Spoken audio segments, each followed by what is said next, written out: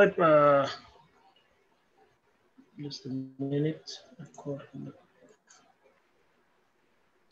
بسم الله الرحمن الرحيم. مساء الخير الأخوة والاخوات في مجموعة الباحثين السودانيين. نلتقيكم في يوم جديد في ويبنار جديد. أنا وفي خميس علي عبد الله من مجموعة الباحثين السودانيين. الليلة نأسف أول شيء للتأخير ربع ساعة لأسباب فنية كالعادة. الليلة معنا ضيف موضوع شيق وجميل جدا. ألا وهو الأستاذ محمد عبد السلام. محمد عبد السلام إسماعيل حيتكلم لنا عن معضلة أوائل الشهادة السودانية وعدم النهوض بالدولة. هي حتكون جلسة نقاشية مفتوحة. الأستاذ محمد عبد السلام حيقدم لنا رؤيته لموضوع أوائل الشهادة السودانية وعدم النهوض بالدولة في presentation حوالي نصف ساعة. بعد ذاك ممكن أو خلال النصف ساعة ممكن تنضموا لنا على الرابط بتاع الزوم الموضح في الإعلان. محمد عبد السلام هو كاتب حر وباحث مستقل كتب سلسلة طويلة جدا عن أوائل الشهادة السودانية بعيون الآباء مره بعيون الباحثين مره بعيون الدولة. هو أستاذ محاضر بكلية العلوم جامعه ام درمان الإسلامية مرشح للدكتوراه في علم الطفيليات كلية العلوم في الإسلامية برضه عنده ماجستير في كلية العلوم جامعة افريقيا العالمية في 2016 عنده دبلوم عالي في علم الحيوان وعنده بكالوريوس علم الحيوان من الإسلامية في 2009 دي نبذة صغيرة عن الأستاذ محمد عبد السلام وحيقدم لنا إن شاء الله البرزنتيشن بتاعته.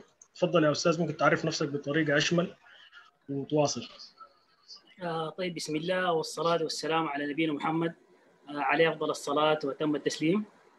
أول شكرا لجمعية الباحثين السودانيين على إتاحة الفرصة والسانحة الجميلة هذه ونتمنى جميعا نتساعد ونتعاون من أجل نهوض دولتنا.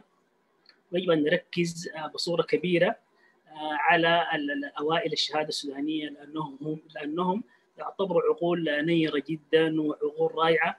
فبالتالي لابد لنا أن نسلط عليهم الضوء حتى تعم الفائدة. الهدف واحد في النهاية.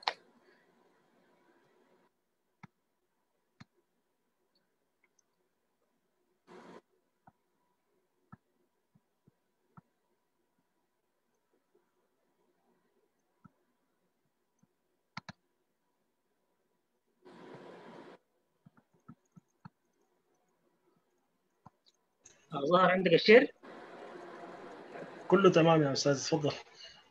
آه طيب بسم الله والصلاة والسلام على نبينا محمد. آه مرة أخرى. آه طبعا في في البدء يعني هو الموضوع بدأ يعني كبادرة أو كخاطرة. وحتى الموضوع هو سؤال يتبادر إلى ذهني.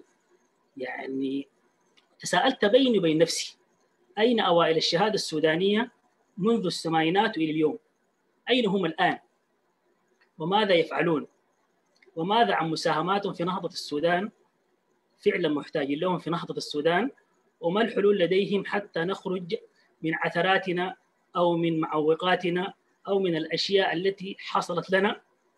وحتى قلت أنا يعني حسب رؤيتي الشخصية آه لم أذكر حلا اقتصاديا آه أو سياسيا أو رياضيا آه أتى من أوائل الشهادة السودانية. صحيح لديهم إسهامات علمية مقدرة جدا وبحوث علمية كثيرة جدا وإسهامات رائعة جدا ولكن لم تنعكس على الواقع حقنا يعني. والواقع لا يخفى عليكم يعني. قلت ما هو السبب يا ترى؟ هل هم أكاديميون فقط؟ أين المخرجات حقتهم إذن؟ سألت بيني وبين نفسي شكل بادرة أو خاطرة ونقلت هذه البادرة أو الخاطرة إلى الجروب الأول في السودان الخاص بالباحثين السودانيين. وفعلا ما شاء الله فعلا ما شاء الله الباحثين السودانيين تفاعلوا مع الأمر بصورة كبيرة جدا حتى أنا يعني تفاجأت وسهلت يعني فملاحظين التعليقات وصلت إلى حوالي ألف أكثر من ألف تعليق لكن هنا ظهر ألف, ألف تعليق. والمشاركات واللايكات فبالتالي هذا قلت ما دام الناس تفاعلت مع هذا الموضوع والحمد لله رب العالمين انا ربنا سبحانه وتعالى أعطاني ملكة الكتابة لماذا لا أكتب في هذا الموضوع؟ وفعلا بدأت أكتب في هذا الموضوع المقال الأول هو عن أوائل أوائل السودان بعيون الباحثين يعني ما رؤية الباحثين تجاه أوائل الشهادة السودانية. من خلال التغريدة الأولى أنا ذكرت حوالي ألف أو أكثر من ألف تعليق. حاولت استخلص استخلصت تقريبا ست تعليقات شاملة ثلاث بنين وثلاث بنات من التعليقات هذه. يعني من حوالي ألف تعليق أنا اخترت ست تعليقات على التغريدة الأولى. وفعلا كانت يعني تعليقات يعني رائعة وحاولت أرد على هذه التعليقات والموضوع طلع يعني كمقال رائع جدا بعيون الباحثين. يعني ما هي رؤية الباحثين تجاه أوائل الشهادة السودانية؟ أنا قلت من الإنصاف ما دام يعني أنا شاركت التغريدة عبر الباحثين السودانيين لابد أن نعكس آراء آراء الباحثين السودانيين عبر المقال هذا. وفعلا هذا المقال بعد كتبته نشرت المقال عبر مجموعة الباحثين السودانيين وفعلا تفاعل مع هذا المقال مجموعة كبيرة. أيضا سألت نفسي هل أوائل الشهادة السودانية فقط بعيون الباحثين؟ الإجابة لا الموضوع أكبر من ذلك. كتبت المقال الثاني أوائل السودان بعيون الآباء. ما رؤية الآباء تجاه أوائل الشهادة السودانية. منذ منذ بدء مؤتمر الشهادة السودانية وحتى الانتهاء بالتقديم للجامعات ورغبات التخصص. هل فعلا الآباء يفرضون آراءهم بصورة قوية على رغبات أوائل الشهادة السودانية؟ إذا كان هذا صحيحا إلى أي مدى هذا يؤثر على الطلاب نفسهم أو النابغين في هذا يعني النابغين من خلال يعني إحرازهم للمراكز الأولى على مستوى السودان. وتناولت المقال يعني تناول هذا الجانب بصورة كبيرة وصورة مستفيضة. المقال الثالث أوائل السودان بعيون الدولة. وده موضوع كبير. يعني ماذا فعلت يعني الحكومات أو الدولة تجاه أوائل الشهادة السودانية. فعلا هم نابغين فعلا هم يعني أحرزوا درجات عالية ماذا قدمت لهم الدولة؟ وما هو المطلوب من الدولة حتى تستفيد من هذه العقول؟ فعلا عقول كبيرة جدا. يعني لو عايزين ننهض يجب أن نهتم بالأوائل. في النهاية هم يعتبروا الأوائل على مستوى السودان. بغض النظر عن اختلفنا أو لا هم يعتبروا الأوائل. فبالتالي الدولة ماذا فعلت تجاه أوائل الشهادة السودانية؟ والمغال تناول هذا الموضوع بصورة أيضا طويلة جدا. يمكنكم الرجوع إلى المقالات الثلاث أوائل السودان بعيون الباحثين وأوائل السودان بعيون الآباء وأوائل السودان بعيون الدولة. يمكنكم الرجوع إليها عبر مجموعة الباحثين السودانيين أو عبر صفحتي الشخصية. فعلا تناولت الموضوع بصورة كبيرة. إذا هذه مقدمة عامة. أنا حاولت وفكرت مع نفسي ما هي المشاكل التي تواجه أوائل الشهادة السودانية وما هي الحلول لذلك. إذا هذا الموضوع أنا يعني في الجزئية الأولى سأتناول المشاكل. والجزئية الأخرى سأتناول الحلول. طيب أول شيء نحن لازم نفهم ونعرف. ما دام عندنا مشاكل لازم نشخصها صح. على أساس نقدر نعالجها وننهض بدولتنا. الهدف هي نهوض الدولة. وليس يعني الهدف هو أشخاص. يعني إحنا عايزين مع بعض نفكر حتى دولتنا ترى النور هذه الفكرة الأساسية. من الأولى المشاكل النجاح الأكاديمي لا يعني بالضرورة النجاح في الحياة العملية والنهوض بالدولة. بدون شك أوائل الشهادة السودانية ناجحين أكاديميا وبالتأكيد تفوقوا في مجالاتهم الأكاديمية. ولكن هذا التفوق الأكاديمي مش معناها الشخص سيكون ناجح في الحياة العملية وينهض بالدولة.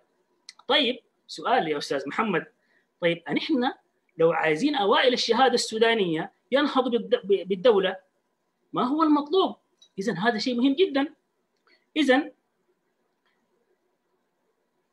آه اذا الحياة العملية محتاجة لمهارات خاصة جدا الشخص على أساس يحول النجاح الأكاديمي إلى واقع يجب أن يكتسب مهارات الحياة من ضمن هذه المهارات من ضمن المهارات الحياة المهارات القياديه والمهارات الإدارية والرؤية البعيدة وحسن التخطيط وحل المشاكل المزمنة وإدارة الوقت واتخاذ القرار بالمنهجية العلمية الصحيحة.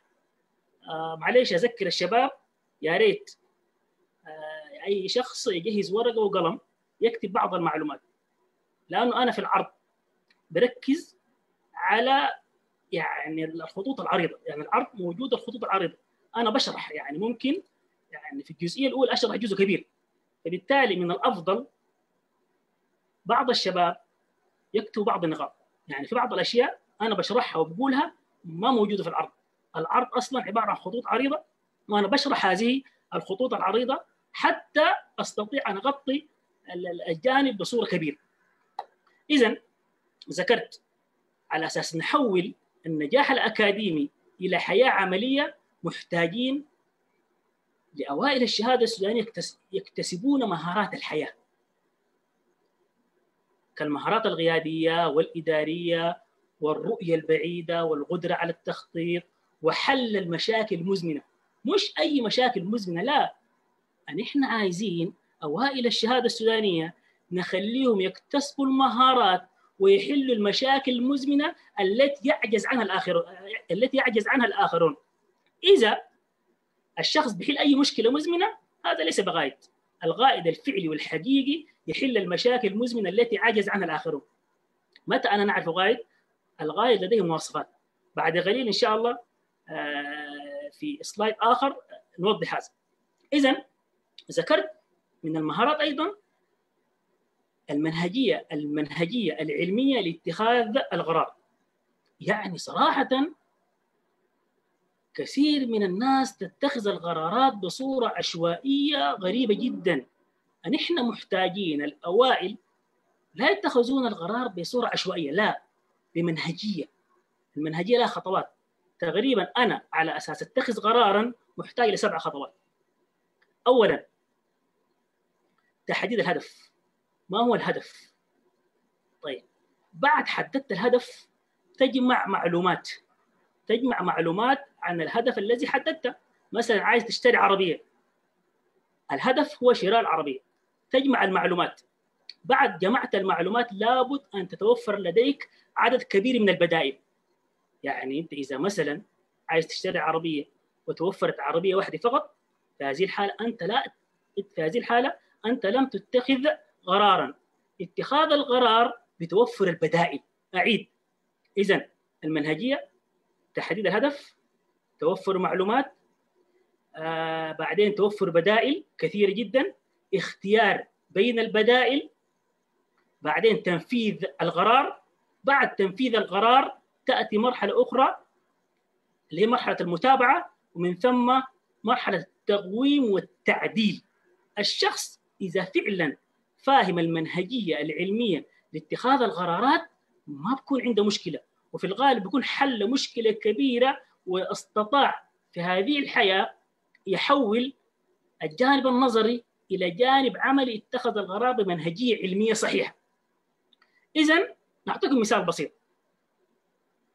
نفترض مثلا بروف يعني شخص بروف ولكن لا يحسن مهارة التأليف ولا يحسن مهارة كتابة المقالات ولا يحسن مهارة إدارة الأموال ولا يحسن التخطيط ولا يحسن الإدارة وليس لديه مهارات قيادية وليس لديه القدرة مثلا على إدارة الوقت.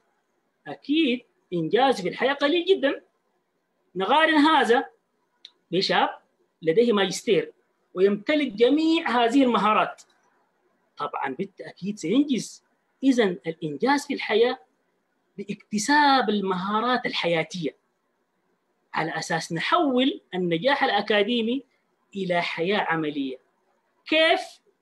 بعدين في الحلول آه إن شاء الله نقول لكم كيف نحول النجاح الأكاديمي إلى حياة عملية. إحنا الآن شخصنا بعدين إن شاء الله نشوف الحلول. طيب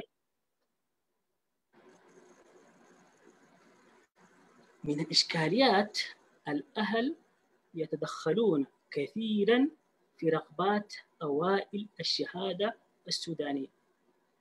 إذا كان الشخص علميا وهو من ضمن أوائل الشهادة السودانية الأهل طب أو صيدلة. إذا كان ادبيا علوم إدارية جامعه الخرطوم لأنها أعلى نسبة أو اقتصاد في الغالب يعني في الغالب العام.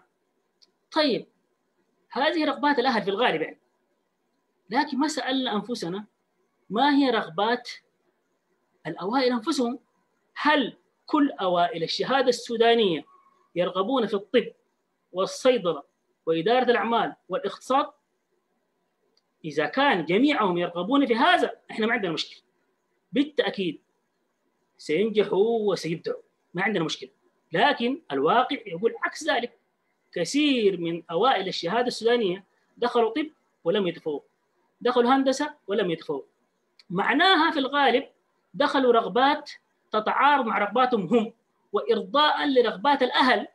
يعني في النهاية الأهل يفكرون في الآتي يفكرون في الوظيفة الجيدة. وصراحة أقولها إذا الشخص دخل تخصص فقط من أجل الوظيفة الجيدة ممكن ينجح نعم ولكن لن يبدع لن يبدع. ومتى متى الشخص يبدع في المجال؟ عندما يعشق المجال عشق. إذا الشخص دخل مجال وهو يعشقه يستطيع أن يحقق فيه إنجازات عالية جدا. يعني الأهل يفكرون في الوظيفة الجيدة وفي الغالب في في المظهر الاجتماعي والشكل العام. حتى بعض الطلاب يفكرون في هذا. ولكن دعونا نقولها بصراحة الشخص لا يدخل تخصص يعني فقط لأن به وظيفة جيدة أو مظهر اجتماعي أو الشكل العام. والطالب أيضا يجب أن لا يدخل تخصص مفروض عليه من قبل الأهل وأنا كما ذكرت قلت أنت الشخص إذا دخل تخصص بناء على رغبة الأهل نعم ممكن ينجح وممكن يتحصل على وظيفة نعم ولكن لن يبدع. متى الشخص يبدع؟ عندما دخل المجال الذي يعشقه. ودراسات في أمريكا واضحة جدا وأنا قرأت هذا. 40 40% من الأهل يتدخلون في رغبة الأبناء. نحن محتاجين نعالج هذا. والله أنا شخصيا ما عندي مشكلة إذا أول الشهادة السودانية دخل كلية أصول الدين. ما دام هو يرغب في هذا. إذا هو يرغب في أي تخصص يجب أن نحترم رغبته. طيب إذا دخل كلية أصول الدين سيبدع في المجال في الغالب سيكون الداعي الأول في السودان وسيكون لديه مؤلفات كثيرة جدا ممكن يصل حتى 100 كتاب. وسيطلب في محاضرات داخل السودان وخارج السودان وممكن يكون الأول في مجال. الأفضل الشخص يدخل بناء على رغبته هو ويكون الأول في مجاله أم يكون مثلا طبيب أو مهندس متواضع. يعني إذا الشخص دخل طب أو هندسة أو اقتصاد أو علوم أو أي مجال بناء على الوظيفة لأن في وظيفة جيدة أو بناء على رغبة الأهل أو أو في النهاية ممكن ينجح. نعم ما قلت ما ينجح ممكن ينجح لكن لن يبدع. ما حيكون له أثر كبير في الحياة. بالتالي دعونا نضع النقاط فوق الحروف. يجب الشخص أن يدخل تخصص بناء على رغبته هو حتى يكون أكثر إبداع. نشوف أمثلة. الأديب المبدع باولو كويلو طبعا عنده رواية مشهورة جدا اسمها رواية الخيميائي. هذه الرواية بلغت مبيعاتها 27 مليون نسخة. الرواية هذه فقط اتباعت منها 27 مليون نسخة وترجمت إلى 56 لغة ووزعت في 150 دولة. ونال جوا... ونال جوائز كثيرة جدا وأسه... وإسهامات رائعة بصورة أصلا ما تتخيلوها ممكن يمكنكم الرجوع إلى إنجازاتها. ونال جائزة فارس الفنون والآداب في فرنسا. لم ينل هذا الكم الهائل من الإبداع حتى ترك تخصص الهندسة الذي فرض عليه من قبل الأهل الأهل فرضوا عليه تخصص هندسة. لازم تدخل هندسة. حتى على أثر ذلك دخل المصحة النفسية. وفي النهاية استطاع في النهاية يذهب المجال الذي يعشقه. وبالتالي حول المجال إلى إبداع. فبالتالي لو من البداية دخل في التخصص الذي يرقبه بالتأكيد سيكون أكثر إنتاجا. يعني ممكن الآن هو ضيع خمسة أو ست سنوات من عمره في تخصص لا يرقب. إذا كان هو أو هي يرغبون في الهندسة وهذه رغبتهم فهنيئا لهم. بالتأكيد سيبدع يا ما يبدع. لكن مشكلتنا الشخص لا يدخل تخصص بناء على أي رغبة أخرى غير رغبته هو. لأنه في النهاية المجال حياتك وهذه حياتك أنت. يجب أن تعيش حياتك صح. لا تدخل تخصص فرض عليك من قبل الآخرين. نحترمهم نقدرهم الأهل والله ما عندنا مشكلة لكن يجب برضهم يراعوا لي يراعوا إلى رغبات الأبناء لأنه في النهاية هذه تعتبر حياتهم. لأنه في النهاية إذا الشخص دخل تخصص بناء على رغبات الآخرين سيعيش تعيس بقية حياته. لأن في الغالب في الغالب التخصص يحدد مسار الحياة. فمن الأفضل من البداية اختار تخصص صح. مثال آخر المخرج جيمس كاميرون أيضا معروف. أيضا تخصص الفيزياء بناء على رغبة الأهل. ولم ينل النجومية حتى ذهب للتخصص الذي يرغب به. وعلى أثر ذلك نايل جوائز كثيرة جدا من ضمنها جائزة أوسكار وأخرج أفضل أفلام أخرج أفضل أفلام الخيال العلمي والأكشن وغيرها وغيرها من ضمنها فيلم حرب حرب النجوم. فبالتالي متى أبدع جيمس عندما ذهب للتخصص الذي يرغب فيه؟ أن إحنا عايزين نضع يعني نحدد المشكلة من البداية أوائل الشهادة السودانية على أساس يكون أكثر انتاجا وعطاء يجب أن يدخلوا تخصصات بناء على رغبتهم هم. ويحول هذا الجانب الأكاديمي إلى واقع وحياة عملية باكتساب المهارات التي تحدثنا عنها قبل قليل. أيضا معروف الداعي الكويتي معروف جدا عبد الرحمن سمير. أيضا تخصص في الطب تخصص في الطب ولكن لم يصبح مشهورا أو صاحب انجاز إلا عندما ترك الطب وتفرغ إلى مجال الدعوة. أسلم على يديه 11 مليون شخص. هذا الداعية أسلم على يديه 11 مليون شخص وأنشأ حوالي 30 محطة إذاعية. و300 مدرسة وغيرها من الأعمال الكبيرة جدا الدعوية والخيرية. لم ينل هذا الكم من الإنجاز والعطاء حتى ترك أو حتى تفرغ إلى مجال الدعوة. لو من البداية من لو من البداية دخل وهو داعية لكانت إنجازات أكبر من ذلك. العبرة هي يجب الشخص أن يدخل تخصصا بناء على رغبته هو حتى يكون أكثر انجازا وأكثر عطاء. أيضا هذا مهم جدا. اختيار التخصص يجب أن يكون مبنيا على قدرات محددة. طبعا أي تخصص مش أي تخصص ما نعمم لكن معظم التخصصات توجد قدرات محددة لدى الشخص حتى يدخل هذا المجال. من الإشكاليات بعض الشباب دخلوا تخصصات وهم لا يملكون القدرة على هذا التخصص ويجب على كل طالب يريد أن يدخل مجالا يسأل نفسه هل هذا المجال القدرات المطلوبة متوفرة عندي أم لا؟ طيب هي إذا ما متوفرة عندك طيب هل يمكن اكتسابها؟ إذا القدرات تستطيع اكتسابها أدخل المجال. لكن في بعض المجالات لازم تكون يعني لديك قدرات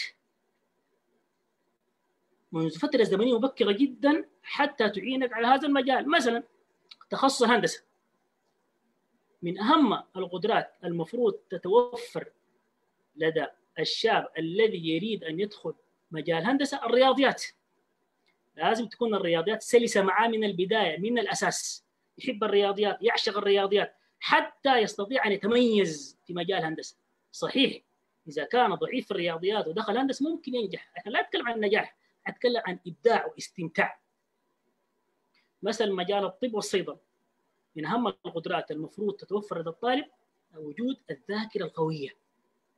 يعني مثلا مجال الصيدلة محتاج تعرف الأدوية وتعارضها وتصنيفها وتاثيراتها وشركاتها. لابد أن تكون لديك يعني ذاكرة حتى تستطيع أن تحفظ هذا وحتى مجال الطب مثلا مجال الإعلام هل في قدرات محددة لمجال الإعلام؟ الإجابة نعم. الشخص الذي يريد أن يدخل في مجال الإعلام لابد أن يمتاز لابد أن يكون لديه وجه مقبول، وجه مقبول خاصة إذا كنت تريد أن تكون في التلفزيون. يعني الشخص الذي يريد أن يقدم في التلفزيون على أساس يكون مقبولا ويكون له أثر كبير ويستمر في هذا المجال من الجميل ومن الجيد يكون لديه يعني وجه مقبول على الأقل. وأيضا تكون لديه لغة عربية جيدة. يعني ما ممكن إعلامي ليس لديه لغة عربية جيدة يستطيع أن يتميز في هذا المجال. هذه قدرات. نعم نعم ممكن اكتسابها. طيب واحد مثلا يقول أنا عايز أدخل تربية بدنية مثلا. من القدرات لابد أن يكون لديك ذكاء جسمي وحركي. ذكاء جسمي وحركي. طبعا هذا موضوع كبير جدا. حتى أنا يعني مستقبح هذا الموضوع من دوره اسمها كيف تختار تخصصك. وبإذن الله سبحانه وتعالى لاحقا إذا أتيحت لنا الفرصة وجدنا مجال نقدم لكم دورة متكاملة عن كيف تختار تخصصك. لكن أنا ما دام بتحدث عن أوائل الشهادة السودانية يهمني جدا ان يعني ان نوضح بعض القدرات لبعض المجالات. لأنه أعرف بعض الطلاب دخلوا مجالات وليس لديهم قدرات في هذا المجال. بالتالي الطالب يسأل نفسه في أي مجال في الحياة؟ هل هل هل هذا المجال أنا أمتلك فيه القدرات؟ هل لدي رغبة في هذا المجال؟ هل لدي فرصة فرصة عمل بعدين في هذا المجال؟ يعني ممكن واحد يسأل إذا أنت لديك قدرات وترغب أو تحب المجال أبشركم تستطيع أن تصنع فرصة مش ضروري وظيفة ممكن ممكن تنشي مشروع في الوظيفة يعني مثلا شخص يرغب في التربية طبعا جميعنا نعرف إنه خريجي التربية بالآلاف. ممكن الشخص ما يجد وظيفة في مجال التربية في الحكومة يعني مثلا لكن ممكن يدرس المدارس الخاصة ويبدع ويكون الأول في السودان وينشئ مدرسة والمدرسة يستطيع أن يضع فيها المناهج الذي المناهج التي يحبها. فبالتالي الشخص إذا فعلا يرغب في المجال ولديه قدرات في هذا المجال يستطيع أن يصنع فرصته. يستطيع بإذن الله سبحانه وتعالى. اذا آه كما ذكرت انه الأطباء يعني معظم أوائل الشهادة السودانية وخاصة العلميين آه يدخلون مجال الطب والهندسة. آه ونحن عايزين دولتنا تنهض. الواحد لما يفكر مع نفسه وسأل وإذا سأل نفسه سؤالا ما مقومات الدولة حتى تنهض؟ يعني ما ما هو ما الشيء المطلوب حتى تنهض أي دولة؟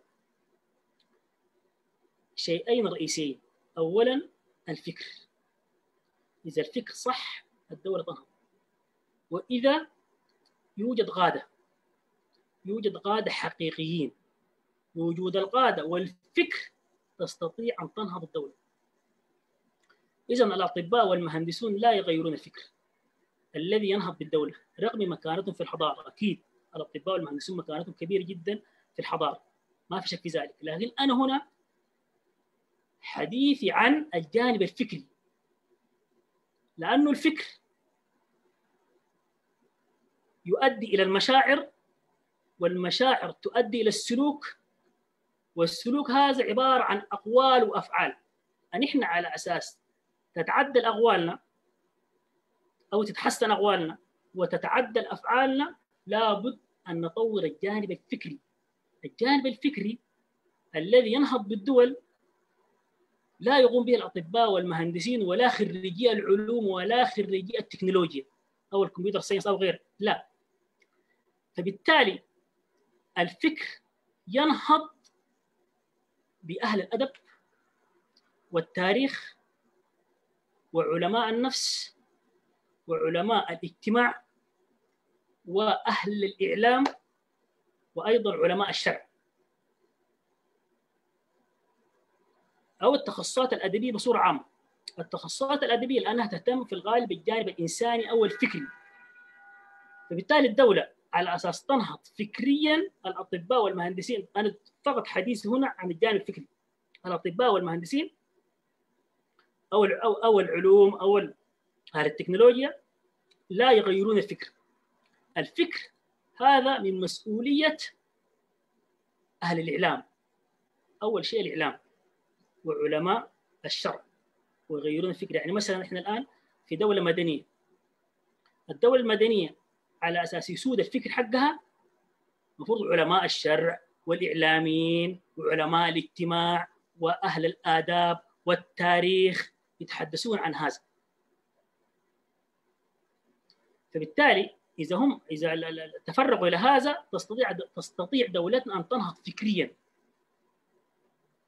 وأوائل الشهادة السودانية المميزين والرائعين جدا معظمهم دخلوا كليات الطب والهندسة.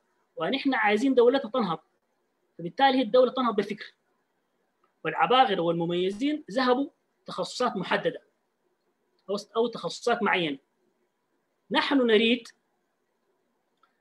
إذا تركنا الطلاب يدخلون بناء على رغباتهم ليختاروا الأدب والتاريخ والفلسفة وعلم الاجتماع والإعلام والشرع والشرع بتخصصاته المختلفة. فبالتالي نستطيع ما دام المميزين توزعوا إلى مجالات مختلفة نستطيع أن نجد مميزين على مستوى السودان. فبالتالي نستطيع أن ننهض بالفكر. لكن أنا عندي مشكلة. إذا كل المميزين أو أوائل الشهادة السودانية ذهبوا لتخصصات معينة أو محددة. وأنتم تعلمون إحنا دولتنا الآن محتاجة لفكر كبير جدا حتى تتقدم وحتى تنهض. نتمنى هذا المفهوم يسود وحتى أولياء الأمور يفهمون هذا. عايزين دولتنا تنهض. يجب أن نترك أوائل الشهادة السودانية يدخلون تخصصات بناء على رغباتهم. عايزين دولتنا تنهض. النهضة بتكون بخريجي الإعلام والشريعة وخلاف ذلك كما ذكرت.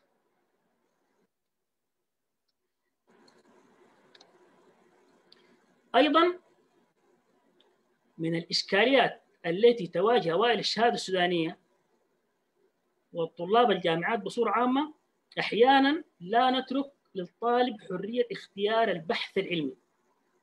من المفترض نترك للطالب حرية البحث العلمي. إذا الطالب تركنا له هذه الحرية يستطيع اولا أن يبدع في البحث العلمي.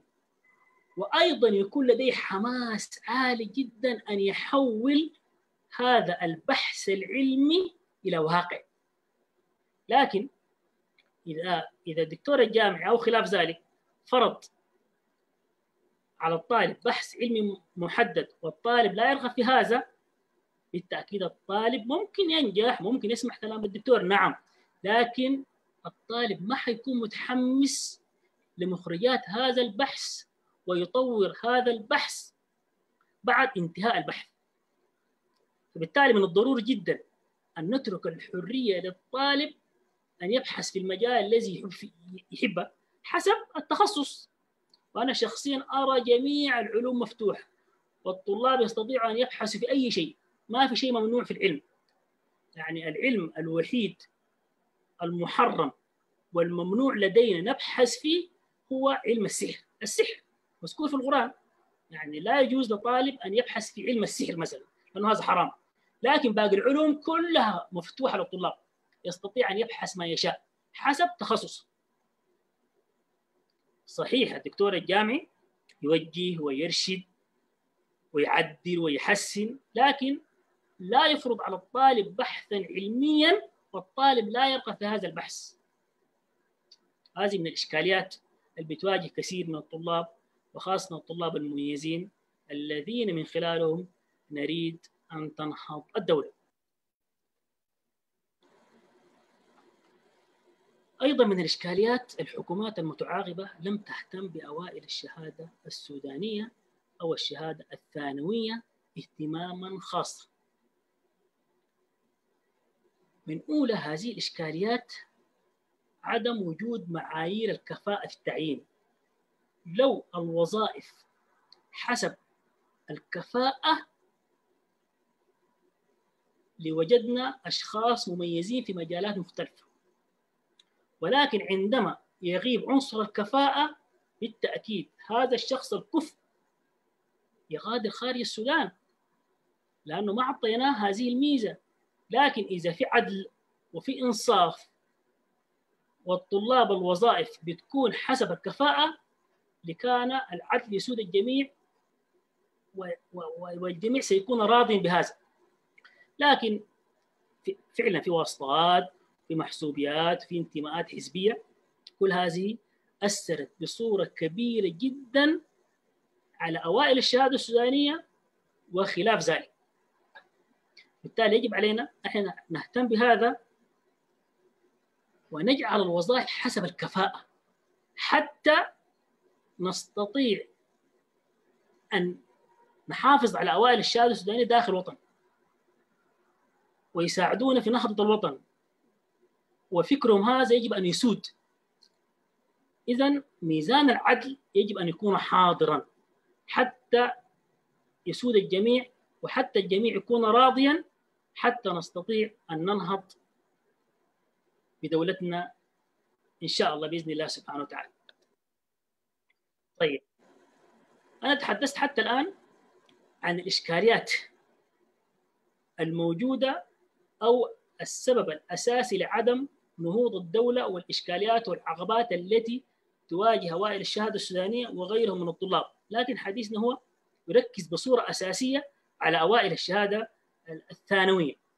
إذا دعونا ما دام تحدثنا وتكلمنا يجب أن نشوف الحلول والتوصيات لذلك حتى نستطيع أن نضع النقاط فوق الحروف ونسلط الضوء. ما يكون كلام نظري لازم يكون كلام عملي وكلام يعني نستطيع من خلاله يعني نضع يدنا في الجرح زي ما يقول يعني. حتى نستطيع أن نعالج المشكلة. اذا إذا نحن عايزين نحول الجانب الأكاديمي إلى واقع عملي حتى نستفيد من مهارات اوائل الشهادة السودانية يجب علينا انشاء مراكز تدريب قيادية. نعم يجب أن ننشئ مراكز تدريب قيادية لأن عندما يكون عندنا قادة على مستوى عالي نستطيع أن نستفيد منهم وأيضا القادة يستطيعون يحولون البحوث الأكاديمية حقت الطلاب الأكاديميين إلى واقع. لكن كيف نحول البحوث النظرية إلى واقع إذا كان لا يوجد لدينا قادة على مستوى كبير. القادة يست... القائد يستطيع يحول الجانب النظري لجانب عملي. طيب قلنا انشاء مراكز تدريب قياديه لكن السؤال هل يا ترى جميع أوائل الشهادة السودانية هم فعلا قادة وفعلا ينفع القيادة؟ الإجابة لا.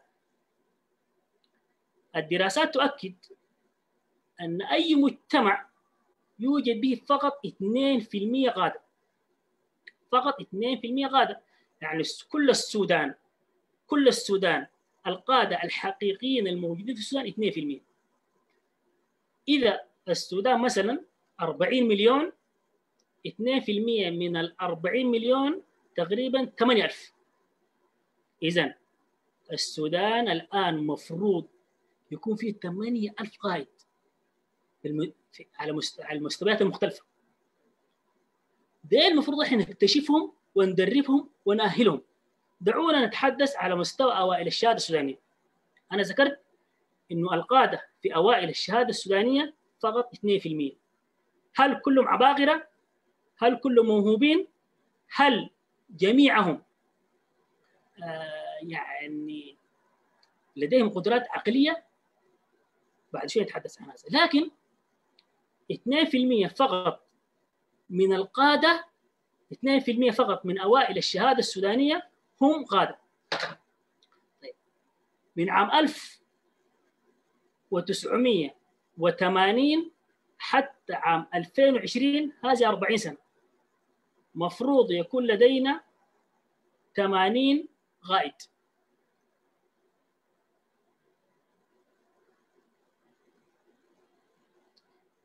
قائد يعني من عام 1980 حتى عام 2020 أنا عندي 4000 أول شهادة سودانية من أوائل الشهادة السودانية. يعني كل سنة عندي 100 100 من أوائل الشهادة السودانية.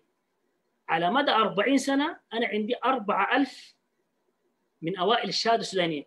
من ال 4000 من أوائل الشهادة السودانية فقط مفروض يكون عندي 80 قائد على مستوى عالي. 80 قائد. مفروض من عام 1980 أعيد من عام 1980 حتى عام 2020 مفروض أقل شيء عندي 80 قائد من أوائل الشهادة السودانية. الثمانين هذا المفروض ندربهم ونأهلهم تأهيل صحيح حتى يستطيعوا أن ينهضوا بالدولة ويحول البحوث إلى واقع عملي. طيب إحنا كيف نعرف قائد؟ إحنا الان إحنا الآن لا نقدم دولة في القيادة لكن على أساس يكون قائدا أيضا لديه مواصفات. من أهم مواصفات القائد الرؤية. القائد لديه رؤية. القائد لديه رؤية بعيدة. القائد الذي لا يمتلك رؤية بعيدة لا يستطيع أن يقود أيضا القائد لديه القدرة على صنع القرار الصح بالمنهجية العلمية الصحيحة. وأيضا القائد يعرف أين الاتجاه الذي يقود يقود من خلال الدولة أو يقود من خلال المجتمع. القائد لديه قدرة على صهر وتحريك الفريق. أيضا القائد لديه أتباع، لديه أتباع إذا قال رايا الجميع يتبعه. يعني كثير من الشباب يقول أنا قائد، سؤال كم عدد أتباعك؟ اذا إذا قلت رايا كم شخص يتبعك؟ أيضا من أهم صفات القائد المصداقيه يعني ما يقول أنا قلت هو لم يقل ما يقول أنا بحثت وهو لم يبحث. لابد توفر لديه المصداقيه بالمواصفات هذه نحن محتاجين لمراكز تدريب قيادية حتى تستوعب أوائل الشهادة السودانية القادة منهم. بالإضافة إلى القادة في المجالات المختلفة. يعني مثلا إذا مسكنا جامعة الخرطوم كل جامعة الخرطوم بها حوالي 2% قاده جامعة ام درمان الإسلامية 2% قاده جامعة النيلين 2% قاده وهكذا. مفروض مفروض في كل مجتمع نستطيع أن نتحصل على القادة حتى يساعدونا في نهضة دولتنا بإذن الله سبحانه وتعالى.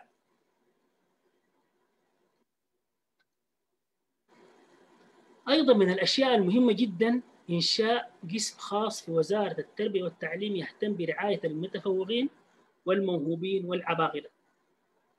يعني وزارة التربية والتعليم مفروض يكون لديها قسم خاص يهتم بهذه الفئات بالمتفوقين والموهوبين والعباقرة. جميع أوائل الشهادة السودانية متفوقين عقليا جميعهم كلهم كلهم متفوقين عقليا. ولكن ليس كلهم موهوبين وليس كلهم عباقرة. بعد قليل نشوف النسبة. إذا من المفترض ننشي مراكز أو الوزارة يكون لديها قسم خاص يهتم بهذه الفئات. وأن يكون هنالك مشرف خاص في كل مدرسة يهتم ويراقب المتفوقين والموهوبين والعباقر حتى نحن نستفيد منهم. لأنه نحن يعني من يعني الواجب الوطني الواجب الوطني والتربوي يقول مفروض نهتم بهذه الفئات حتى يساعدونا على النهوض بإذن الله سبحانه وتعالى. هل فعلا هنالك فرق بين المتفوق والموهوب والعبقري؟ الإجابة نعم. طيب هنالك معامل ذكاء اسمه ال IQ الدرجة درجة معامل الذكاء من 200 إذا الشخص يختبر اختبار معامل الذكاء وأحرز نسبة 70 من 200 70 من 200 حسب الإحصاءات والدراسات بتقول هذا أقل من 70 يعني أقل من 70 درجة من 200 هذا متخلف عقليا. إذا الدرجة أقل من 70 متخلف عقليا. إذا الدرجة إذا أحرز درجة من 70 إلى 80 هذا بطيء التعلم. بطيء التعلم. مفترض يكون لديه مدارس خاصة أو اسمها تربية خاصة تهتم بهم. المجموعة الأولى والمجموعة الثانية مفروض ما تكون مع المدارس العادية. اذا معامل الزكاة من 200 إذا الشخص أحرز 70% متخلف عقليا إذا الشخص أحرز بنسبة 70 إلى 80% هذا بطيء التعلم. إذا كانت النسبة من 80 إلى 90% من من معامل الذكاء هذا عادي بحد أدنى. يعني شخص عادي بحد أدنى. إذا الدرجة من 90 إلى 110 هذا عادي. طيب. إذا الشخص أحرز درجة 110 إلى 120 هذا عادي بحد أعلى. أبشركم ها؟ 94% من البشر نسبتهم نسبة الذكاء من 110 إلى 120 نسبة البشر هذا هذا هو الحد الفاصل الجزء العلوي هذا بنسبة 2% هنا 94% يعني البشر العادي والعادي بحد أدنى وبطيء التعلم ومتخلف عقليا نسبته في البشر فقط 2% معظم البشر بنسبة 94% من هذا الحد. إذا الشخص معظم الناس إذا قاست معامل الذكاء ال IQ ستجد نسبتها بين 110 إلى 120 إذا الشخص 120 إلى 130 هذا متفوق عقليا وجميع أوائل الشهادة السودانية متفوقين عقليا. أنا أتكلم أنا قلت متفوقين عقليا. لم أقل متفوقين روحيا ولم نقل متفوقين جسديا ولم نقل متفوقين في أي شيء آخر متفوقين عقليا. جميع أوائل الشهادة السودانية متفوقين عقليا وفي القالب معامل الذكاء من 120 إلى 130 طيب. الشخص الموهوب معامل الذكاء من 120 إلى 150 هذا شخص موهوب موهوب في الرسم. يعني إيش؟ مفهوم الموهوب. الشخص الموهوب في مجال معين يستطيع أن يؤدي هذا المجال بسهولة وإتقان. يستطيع أن يتقنه. يعني مثلا الشخص الموهوب في مجال الرسم. يعني يعمل شخابيط شخابيط شخابيط بعد قليل يطلع أجمل رسمة. هذا موهوب. طيب. إذا كان الشخص معامل الذكاء فوق ال 150 يعتبر عبقري اللي هو الجينيوس طيب أنا أنا ذكرت 94% من البشر معامل الذكاء من 110 إلى 120 2% من البشر متفوقين عقلي 2% من البشر موهوبين ومتفوقين عقليا وعباقرة. يعني ممكن العباقرة والموهوب نسبتهم 1% مع بعض المتفوق نسبته 1% ومجموع الأربعة هذه نسبتهم 2% طيب ما دام هنالك فرق يعني أنا من قبل قليل ذكرت إنه مفروض يكون لدينا مشرف مشرف للمواهب في كل مدرسة. بالتأكيد مشرف المواهب حيكون لديه معامل أو لديه مقياس الذكاء. من خلال هذا المقياس يستطيع أن يضع مجموعة متفوقين عقليا ومجموعة موهوبين ومجموعة عباقرة. على أساس نستفيد منه في مجالات مختلفة. هذا شيء ضروري جدا ومهم. أن إحنا إذا عايزين ننهض صح يجب أن نصنف الناس صح يجب أن نهتم بكل فئات المجتمع. كل شخص طبعا ما شاء الله يعني موهوب وجميل في مجاله. إحنا عايزين ما دام عندنا أصلا عباقرة ولو نسبتهم 1% يجب أن نهتم بهم أو أقل من ذلك. المتفوقين عقليا يجب أن نهتم بهم. العاديين بحد أدنى أيضا نهتم بهم في مجالاتهم المختلفة. نضع نضع الشخص المناسب في المكان المناسب. طيب يعني الآن كثير من الشباب بعد يعني شاف هذه النسبة ممكن يتساءل كيف أنا أقيس معامل ذكائي ممكن أكون عبقري. ممكن أكون موهوب. ممكن أكون متفوق. ممكن اكون كلهم إن شاء الله من العباقرة كيف تقيس يعني معدل ذكائك أو معامل ذكائك؟ هذا الرابط من خلاله تستطيع أن تدخل على هذا الرابط وتقيس معامل الذكاء اللي هو ال IQ تشوف نفسك درجتك كم من 200 طبعا ما في وقت للكتابة لكن ممكن أعطيكم خمس ثواني للتصوير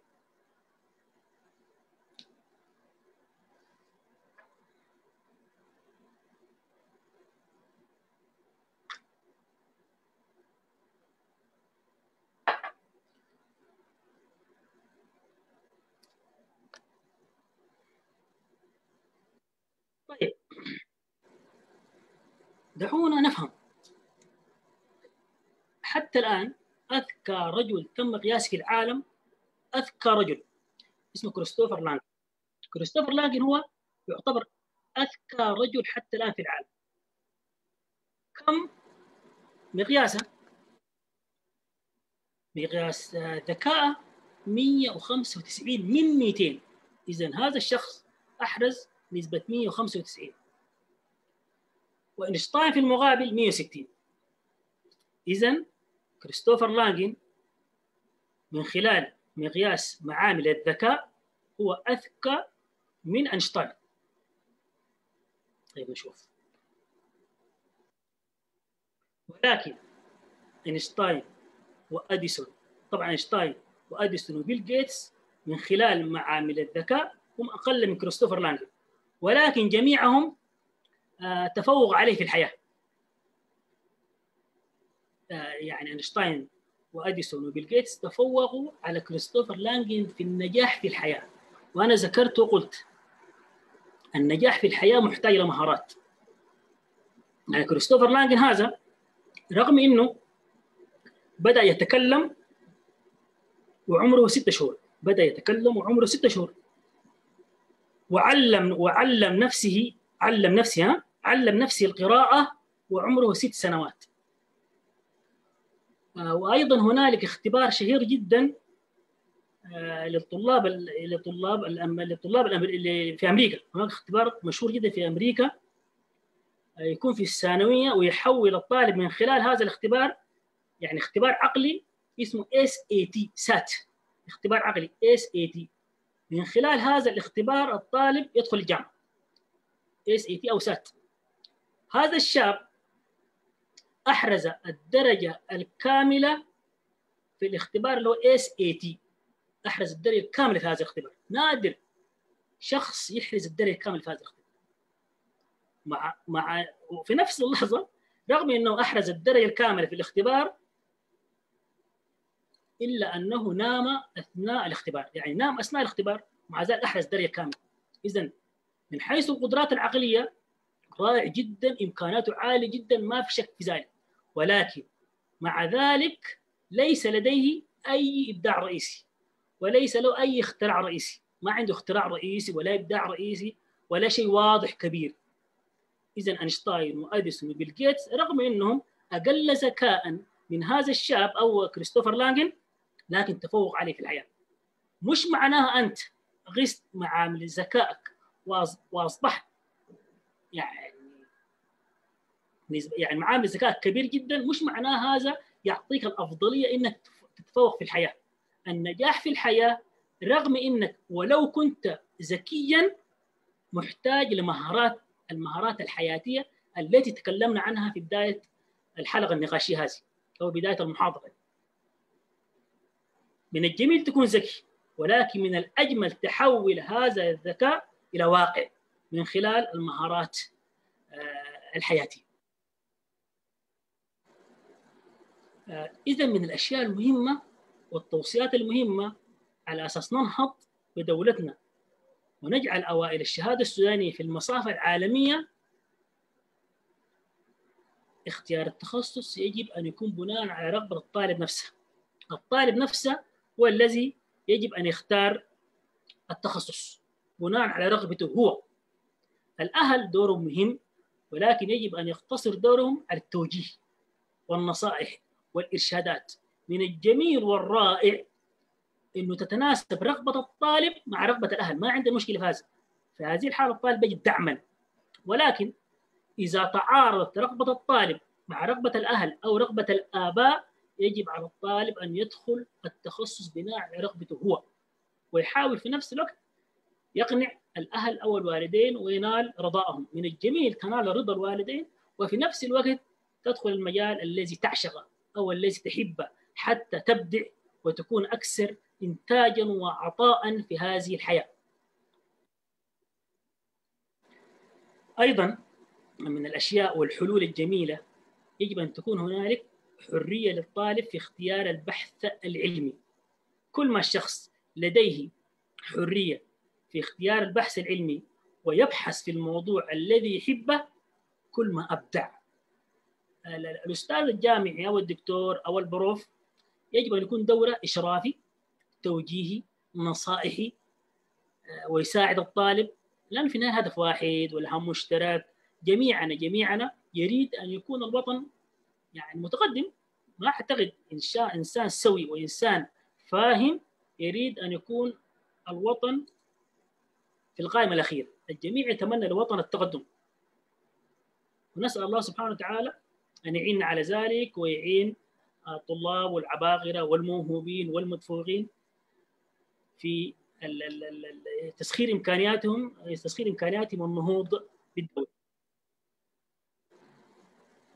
أيضا من الأشياء المهمة جدا والمفروض نهتم بها من خلال جروب الباحثين السودانيين أو من خلال هذه المحاضرة أو الحلقة النقاشية يجب إنشاء قاعدة بيانات تضم أوائل الشهادة السودانية منذ عام 1980 إلى 2020 هذه 40 سنة كاملة.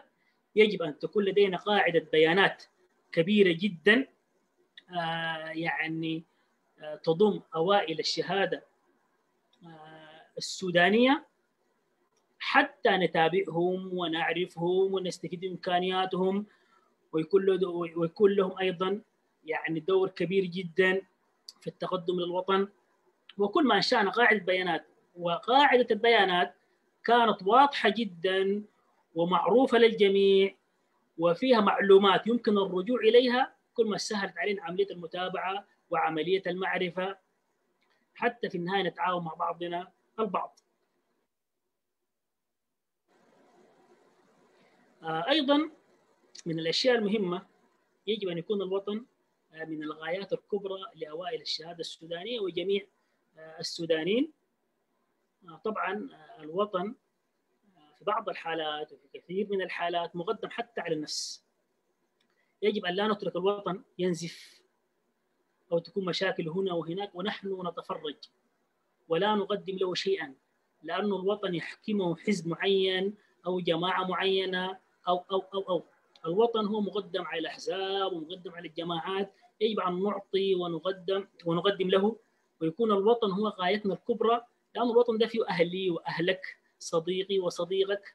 فبالتالي كل ما هو نهض وكل ما هو تقدم كل ما إحنا ارتحنا نفسيا وأهلنا يعني أصبحوا يعني مرتاحين في وطن جميل ووطن رائع. يعني من الأشياء اللي خلتني نؤكد على هذا المعنى في التعليقات على المنشور أحد الشباب قال يعني أترك أوائل الشهادة السودانية في حالهم وأنت أيضا يجب أن تعيش حالك وخلي أي شخص يعيش حاله يعيش في حاله. يعني الرسالة يعني يقول إنه يجب أن يعني تترك الأوائل في حالهم. ماذا قدم لهم الوطن حتى هم يقدموا يقدموا له؟ يعني الوطن ما محتاج يقدم لنا حتى نحن نقدم له. يعني شيء غريب ومفهوم غريب يعني. الوطن أكبر من الأشخاص وأكبر من الأحزاب وأكبر من الكيانات وأكبر من الجماعات. الوطن الوطن يبقى والجماعات والأحزاب زائلة. فيجب علينا أن نهتم بوطننا ويكون هو الغايه الكبرى لنا ويكون لديه أولوية لنا حتى نساعد في نهضته وفي تقدمه بإذن الله سبحانه وتعالى. أيضا من الأشياء المهمة والرائعة يجب أن نشجع أوائل الشهادة السودانية. نشجعهم يعني لا نكسر يعني المجاديف حقتهم لا نقلل منهم. يجب أن نشجعهم تشجيع كبير جدا. عفوا. يجب أن نشجع أوائل الشهادة السودانية تشجيع كبير ورائع حتى يساعدونا ونساعد مع بعض في التقدم ونهضة السودان. إذا نحن لم نشجع الأوائل أو بمعنى أصح لم نشجع الناجحين فبالتالي الهمة ستضعف. وعندما تضعف الهمة ما حيكون هنالك عطاء وإنجاز. يجب أن نشجع بعضنا بعض ونعيش بحب وسلام حتى نستطيع أن نقدم للوطن الغالي. أيضا من الشيء المهم جدا والمفروض يعني نركز عليه أوائل الشهادة السودانية مصدر فخر للسودان. بدون شك هم مصدر فخر كبير جدا للسودان وجميعنا احتفلنا بهم ورأينا الفرحة في عيون آبائهم والفرحة في أنفسهم. يجب أن نرعاهم رعاية خاصة جدا ونهتم بهم. يعني فعلا العطاء الذي قدموه في امتحانات الشهادة الثانوية يستحق منا أن نفتخر به. يستحق بنا أن نرعاه لماذا نحن نهتم بأوائل الشهادة السودانية؟ لماذا؟ لأن أوائل الشهادة السودانية يعتبروا عقول وهم تقدموا جميع الطلاب يعني أوائل الشهادة السودانية يعني هم المية الأوائل هم تفوقوا على 400 ألف تقريبا حسب عدد أوائل الشهادة السودانية حسب عدد طلاب الشهادة السودانيه فبالتالي من أفضل الأشياء يعني التي المفروض نهتم بها العقول. وأفضل الاستثمارات على الإطلاق هو الاستثمار في العقول. يعني ليس السودان لا ينهض بالزراعة ولا ينهض بالذهب ولا ينهض بالمعادن ولا ينهض بالثروة السمكية ولا الثروة الحيوانية. صحيح هذه مهمة. لها دور. نعم لها دور. لكن النهضة الحقيقية بالعقول. نحن العقول هذه لازم نرعاها ونهتم بها اهتمام خاص. وزي ما ذكرت ننشئ, لهم قاعدة بيانات حتى نعرف وحتى نتابع وحتى نشوف إسهاماتهم. حتى إذا الشخص يعني يريد أن يكون خارج السودان فليذهب لكن من الأفضل يذهب ونحن نكون عارفين تاريخه وماذا قدم وندعمه ونشجعه. وحتى لو ذهب خارج السودان يعني يذهب بشروط معينة وبراتب معين وبوظيفة محدده فبالتالي نحن لازم الأوائل والعباقره الأولى يستفيدوا من السودان الأولى يقدموا إلى السودان حتى لو كان مواقعهم خارج السودان. حتى لو كانوا خارج السودان يجب يعني الوطن لديه حقوق عليهم والوطن لديه حقوق علينا. إحنا حديثنا الآن على الأوائل صحيح لكن لجميع جميع أفراد المجتمع السوداني لديهم واجب تجاه الوطن. حتى نخرج من عثراتنا. يعني من العيب ومن الخطر الكبير نسمع أوائل الشهادة السودانية فقط في التلفزيون. ولا يكون لهم أثر بعد ذلك. أنا لا ألومهم ولكن في عوامل كثيرة سببت في عدم ظهورهم.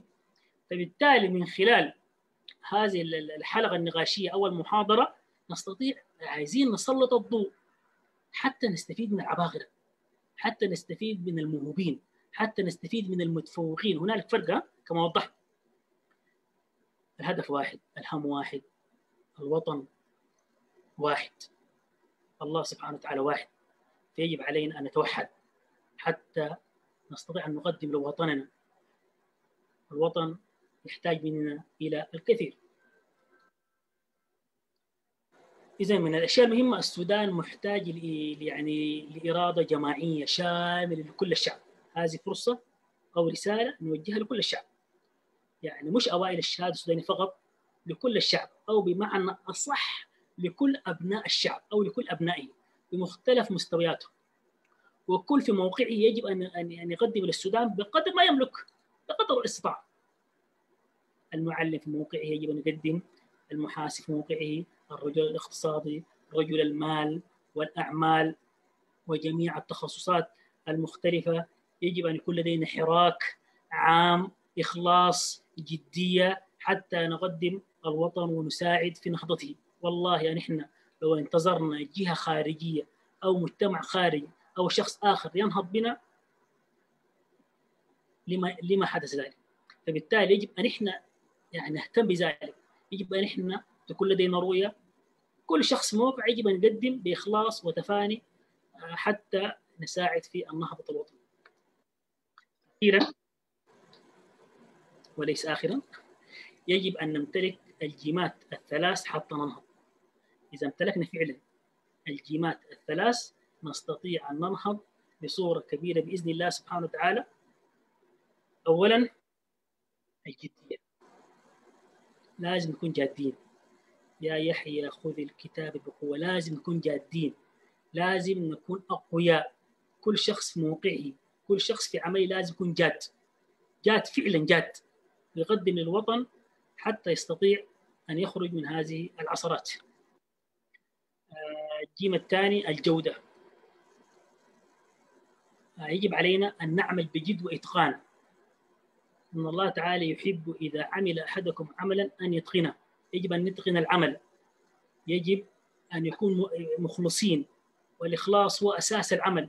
أي شخص أي شخص يعمل أي عمل بدون إخلاص صراحة العمل هذا راح هباء منثورا عندما تخلص العمل هذا الإخلاص ستكسب يعني جانب مادي مقابل ذلك وستكسب الأجر. يعني دين ودنيا أو دنيا وآخرة. عندما نعمل بجد وبإتقان نستطيع فعلا أن نقدم إلى وطننا الشيء المفيد. أيضا الجمال يجب أن نعيش بجمال ونقدم العمل بجمال وبإيجابية وبروح حلوة جدا ونتعاون مع بعضنا ونحب بعض حتى نستطيع أن نقدم الشيء المفروض منا أن نقدمه. شكرا لطيب المتابعة. وأنا صراحة سعيد جدا بهذه المحاضرة أو هذه الجزئية. ونتمنى الجميع يكون استفاد. ومرحبا بكم إذا كان أي شخص لديه استفسارات أو لديه أسئلة سواء كان في التعليقات أو خلاف ذلك نحن جاهزين بإذن الله سبحانه وتعالى. نسأل الله التوفيق.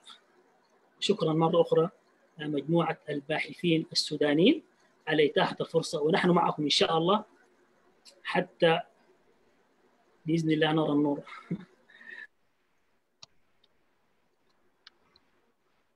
آه شكرا جزيلا الأستاذ محمد عبد السلام. والله يا أخي ما أعرف نشكرك قدر شنو؟ محاضرة قيمة ومختصرة ورسائل زي ما تقولوا في الهدف. آه أول سؤال لك يا أستاذ هل أنت من أوائل الشهادة السودانية؟ طيب سؤال ممتاز جدا. أنا صراحة كنت أتمنى أكون من أوائل الشهادة السودانية. ولكن للأسف لم أكن منهم. ولكن هذا ما دام أنا ما كنت من أوائل الشهادة السودانية هذا جعل هذا أصبح مصدر همي. وقلت ما دام أنا ما أصبحت من أوائل الشهادة السودانية يجب أن نقدم شيئا لأوائل الشهادة السودانية. وفعلا أنا أرى سواء كان الشخص أول الشهادة السودانية أو خلاف ذلك الهم واحد والهم مشترك لكن بالنسبة لسؤالك بصورة دقيقة أنا لست من أوائل الشهادة السودانية ولكن كنت أتمنى ذلك صراحة. كلام جميل. طيب أنت البكالوريوس والدبلوم العالي عملته في في علم علم الحيوان الماجستير في الأحياء الدقيقة. صحيح. الدكتوراه الآن أنت شغال فيها في علم الطفيليات.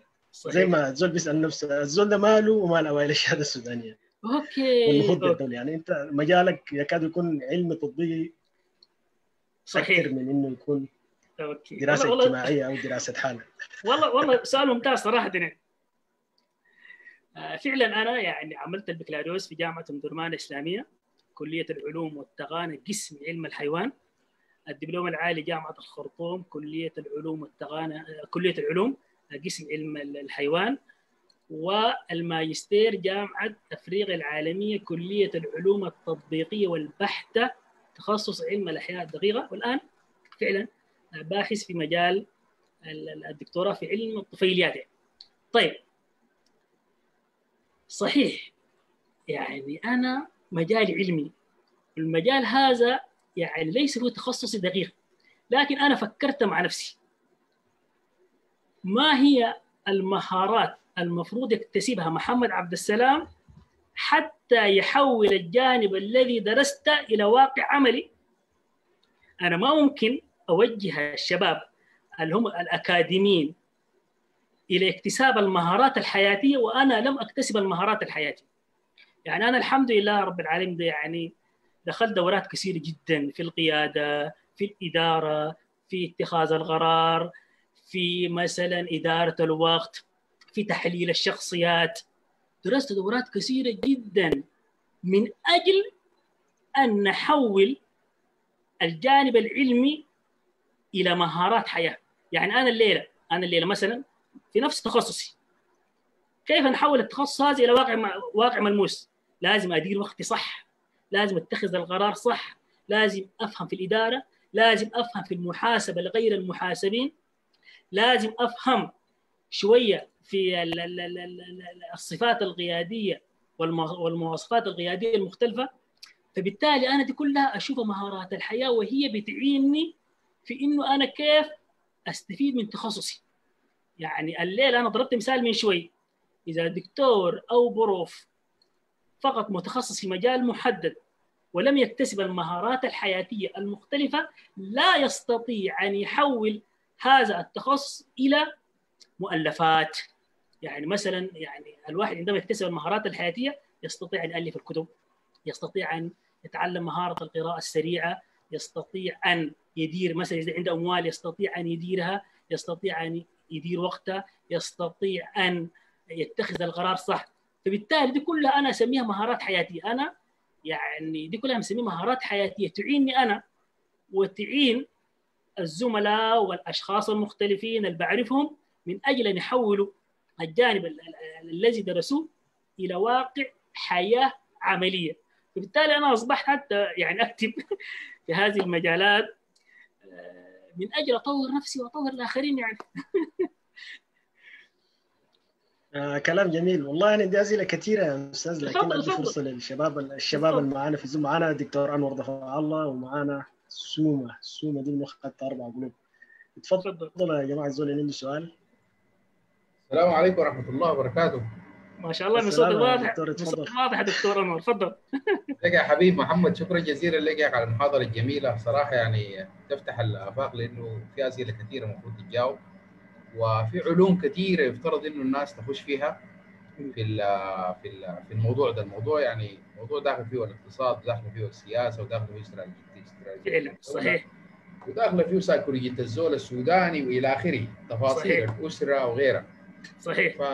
فالسؤال ده قبل كده سألت عنه لكن كان في يعني بوست كده في في الفيسبوك وأنا بعرف عدد من أوائل الشهادة السودانية. يعني دفعتنا دفعة 6 1996 اتحاد الشهادة السودانية أولنا دكتور عبد الله جعفر ما شاء الله. وفي 2008 مازن عبد البديع وفي تقريبا 97 ولا حاجة هيثم مكاشفي. يعني عدد من أوائل الشهادة السودانية وبعرف التواني والتوالد والى آخره دكتور محمد عبد المنعم الكاروري ساجد الماهي الكباشي يوسف. ما شاء الله دول كلهم مشهورين معروفين يعني الشباب كلهم يعني المهم اتعاملت معاهم بطريقة أو بأخرى في ورش عمل ولا كده. طيب. الناس ال ال ال الإنسان السوداني بغض النظر عن ال IQ بتاعه كان شنو ما ما أظن إن إحنا عندنا توجيه كويس. صحيح. يعني المؤسسات بتاعتنا بتفشل الفرد فينا صحيح. ما بتنجحه بالضبط. يعني هبشت حتة برضه إحنا مهتمين بها جدا في الباحثين السودانيين اختيار التخصص الجامعي. بالضبط. أنا عندي مقال اسمه آه اختيار التخصص الجامعي مسألة أمن قومي. وقلت إنه الزول لو اختار التخصص بتاعه بصورة غلط م. الزول ده بالتالي حيمشي يخش له مجال غلط حيتخرج من الجامعة ما عنده الرغبة ولا عنده الشغف بالموضوع في الغالب حيتعطل. العطالة بتقوم تجيب لنا الجريمة تجيب لنا المخدرات وتجيب لنا المشاكل الكثيرة يا سلام وبالتالي بيبقى المجتمع كله في يعني في مجازفه في ريسك في خطر. ده كله جاي من قصة الاختيار التخصص الغلط فقلت لك. المسألة داخلة فيها حاجات تفاصيل كثيرة لكن صحيح. أنا سؤالي. المهم ليه أوائل الشهادة السودانية؟ إحنا ما نزال من الطيشة ما كلنا مع أفراد طيب. في النهاية مجتمع. بتاع أفراد إنت مم. السؤال بتاعك منبعه إنه والله يا أخي يفترض إنه في innovation في ابتكار حيطلع من الناس في مساهمة مجتمعية في entrepreneur ريادة أعمال وأعمال يعني حيفتحوا مسار جديد تماما. لكن في العادة في العادة في مجتمعات زي مجتمعاتنا الفقيرة الدول الفقيرة دي ال- ال- الطبقة الدنيا دي الناس ما بتكون مركزة عليها دكتور محمد. الكاروري عنده عبارة جميلة بيقول لك يا أخي إحنا الناس بس لو اشتغلت الشغل بتاعها لو كل سوداني. طبعا كان في تقرير طلع من مجلس الوزراء. إنه آه ال- ال- العامل السوداني حتى التقرير ده أنا سالت هل مجلس الوزراء ده منطبق عليه؟ ما بيشتغل أكثر من ساعة في اليوم. يعني الموظف بيجي من 8 لحد آه، لحد 4 يفترض إنه يشتغل. الزول ده البرودكتيفيتي الإنتاجية بتاعته ساعة واحدة. يعني. عندنا وقد تكون. أقل من وقد تكون أقل من ذلك صراحة قد تكون أقل من يعني في. إحصائية معلش ما اقطع حديثك في إحصائية قديمة لوزارة العمل تقريبا نعم. بتقول إنه إنتاجية الموظف السوداني فقط ثلاث دقائق في اليوم تمام ممتاز جدا اتفقنا قدرنا نديها طيب. ساعة خلينا نكون طيب. كريمين نديها ساعة حلو طيب يبقى نحن نسأل من إنه ال ال لو بيمتحنوا شهادة سودانية 400000 نسأل من ال 100 ولا نسأل من ال 399600 نفر ديل ولا طيب. 990000 نفر ديل؟ نسأل من ال- ال- الشيء الكبير ولا الصغير؟ نسأل من ال average ولا نسأل من ال sum؟ يا صح. سؤال ممتاز. يعني ال maximum اللي إحنا بنفتش دائما في إنه في زول واحد يخارجنا أشطر زول فينا ولا كده؟ أعتقد إنه دي ما يعني أعتقد إنه نحن بنفتش في الحتة الغلط لأنه المجتمع ده في النهاية بيمشي بين كل الناس ما بيمشي صح. لاشطر ناس. صح. في نظرية في الإدارة اسمها نظرية ال super chickens ما أعرف لو قريت عنها ولا لا. الصبر دي نظرية كان بتسأل من من الإنتاجية في الدجاج. الدراسة بتاعت الإنتاجية في الدجاج سهلة جدا لأنك أنت بتفتش بس عدد البيض اللي بيبيضوا كم. أيوه صحيح. شافوا أكثر جداد بيبيض ديل مش هم اوائل الشهادة. أكثر جداد بيبيض ده قام عزلوه مع بعض. مم. وخلوهم في أقفاص براهم. الباقيين اللي بيبيضوا صغار صغار ديل زي كده ديل خلوهم في في هناي بتاعهم شافوا الإنتاجية بتاعتهم هل زادت ولا قلت. ال generation الثاني أولادهم أولاد الجداد ديل ما جاء بتاع ال super chickens الشطار. ديل ما جاء ليه؟ لأنهم كانوا competitive بيتنافسوا في بعض بالتالي كل زول بيمشي يكسر بيض الثاني أها مم. يعني بدل ما يفكروا في إنه والله نزيد إنتاجيتنا كيف؟ لا كل واحد دار يزيد إنتاجيته لفرد وده بيقولوا المثل ده ضاربينه في ال corporates corporate America 500 أكبر شركة في العالم وال CEOs الناس الطماعين ال Wall Street انهي- إنهيار ال- الأسواق المالية. ده كلهم سوى الناس شطار ديل ال CEO هارفرد وستانفورد و MIT وغيرهم. شفت كيف؟ الشاهد في الموضوع. نحن قاعد يحكمونا عساكر ناس ما ما لا. أول شهاده ولا فعلا. حتى ممكن يكون ذاته قريب للشهادة. ودي من الاشكاليات من الإشكاليات صحيح؟ بمعاونة الناس التانيين اللي بيكونوا اوائل شهاده دي؟ أيوه بالضبط. فده ده, ده سؤال مهم جدا. ليه إحنا مهتمين بالناس اللي هم زي ما بيقولوا الأوائل؟ ليه ما بنهتم بالناس التحت البوتوم؟ ديل هم طيب. الناس الموجودين في السودان. ديل بيكون فرصهم أقل في إنهم يهاجروا كده. ده سؤالي تفضل. طيب. والله سؤالك ممتاز جدا وإنت ذكرت واشرت لجزئية مهمة اللي هي التخصص الجامعي. والله أنا شخصيا أعرف كثير جدا من الشباب عانوا ما عانوا في اختيار التخصص الجامعي الصح. وفعلا كما ذكرت أنت عندما الشخص يختار تخصص خطأ سيختار حياة خطأ. حتى هذا كان من ضمن همي أنا وأنا الحمد لله الآن مجهز دورة كاملة عن اسمها كيف تختار تخصصك فيها تمارين عملية وأشياء وبإذن الله سبحانه وتعالى لاحقا نقدمها سواء كان عبر هذا المنبر أو خلاف ذلك. طيب بالنسبة للجزئية حق سؤالك الأخرى لماذا نحن نهتم بالأوائل من غير يعني وفي نفس الوقت الأوائل عددهم قليل. طيب نحن في الحقيقة نبحث عن غادة والإحصائية العالمية بتقول حتى في أي مجتمع نسبة الغادة 2% فقط. دي نسبة ثابتة وتكلم عنها كبار الغادة في العالم. يعني حتى أوائل الشهاده السودانيه ان إحنا لو عايزين نحول جانب الجانب الأكاديمي حقهم إلى واقع وحياة عملية ملموسة يجب أن نفتش القاده منهم. يعني مثلا عام 2021 أنا بالتأكيد عندي 100 من أوائل الشهاده السودانيه هل كلهم قاده؟ هل يصلحوا للقياده؟ الإجابة لا. فقط 2% معناها اثنين. صح ولا لا؟ اثنين. طيب. الاثنين ديل أصبحوا قادة صح. ومدركين صح. و... و... و... ولديهم القدرة لتحويل الجانب النظري لجانب عملي يستطيعوا أن يحركوا باقي المجتمع. يعني مثلا حتى الغادة الفاهمين بيقول لك يا أخي أنا لا يهمني الممثلين لأن الممثلين عند الممثلين عندهم معجبين الفنانين عندهم معجبين لكن القائد لديه أتباع. القائد الصاح يستطيع أن يحرك كل المجتمع حوله. يستطيع أن يحرك المجتمع. إحنا في النهاية عايزين تحريك المجتمع. ونحن نكون واضحين المجتمع لا يتحرك بكل الشباب يتحرك بالغادة. طيب بالنسبة للناس الغير أوائل الشهادة السودانية بالتأكيد ناس أكفاء مفروض نهتم بهم ونسلط عليهم الضوء ونشوف الغادة منهم ونشوف الناس الموهوبين منهم نشوف العباقرة منهم. لكن أنا لماذا سلطت الضوء على أوائل الشهادة السودانية أنا صراحة أرى أنه هذا يعني أول شيء عدد قليل والاهتمام به ممكن يكون يعني إذا اهتمينا بهم فعلا ما محتاج لموجود كبير. يعني الليلة في دولتنا الآن المتهالكة المنهارة فجأة نهتم بالكل ممكن تكون صعبة شوي. لكن من السهل نهتم بالأوائل ونطلع منهم قادة وناس موهوبين وناس عباغرة حتى نستطيع أن نحرك باقي المجتمع. وأيضا أنا ذكرت يعني يجب إنشاء مراكز قيادية المراكز القيادية التي أنا أشرت إليها ما مقصود أدرب فيها فقط أوائل الشهادة السودانية الإجابة لا. لأن أوائل الشهادة السودانية سنويا 2% منهم قادة يجب أن نشوف باقي المجتمعات الثانية. يعني مثلا جامعة الدنيا الإسلامية فيها بها 2% قادة الخرطوم كذلك. جامعة بحري كذلك. النيلين كذلك. أنا الآن صراحة نكون واضحين. إحنا الآن محتاجين لقادة حقيقيين حتى ننهض من عثراتنا كما أشرت بالقادة تنهض الدولة.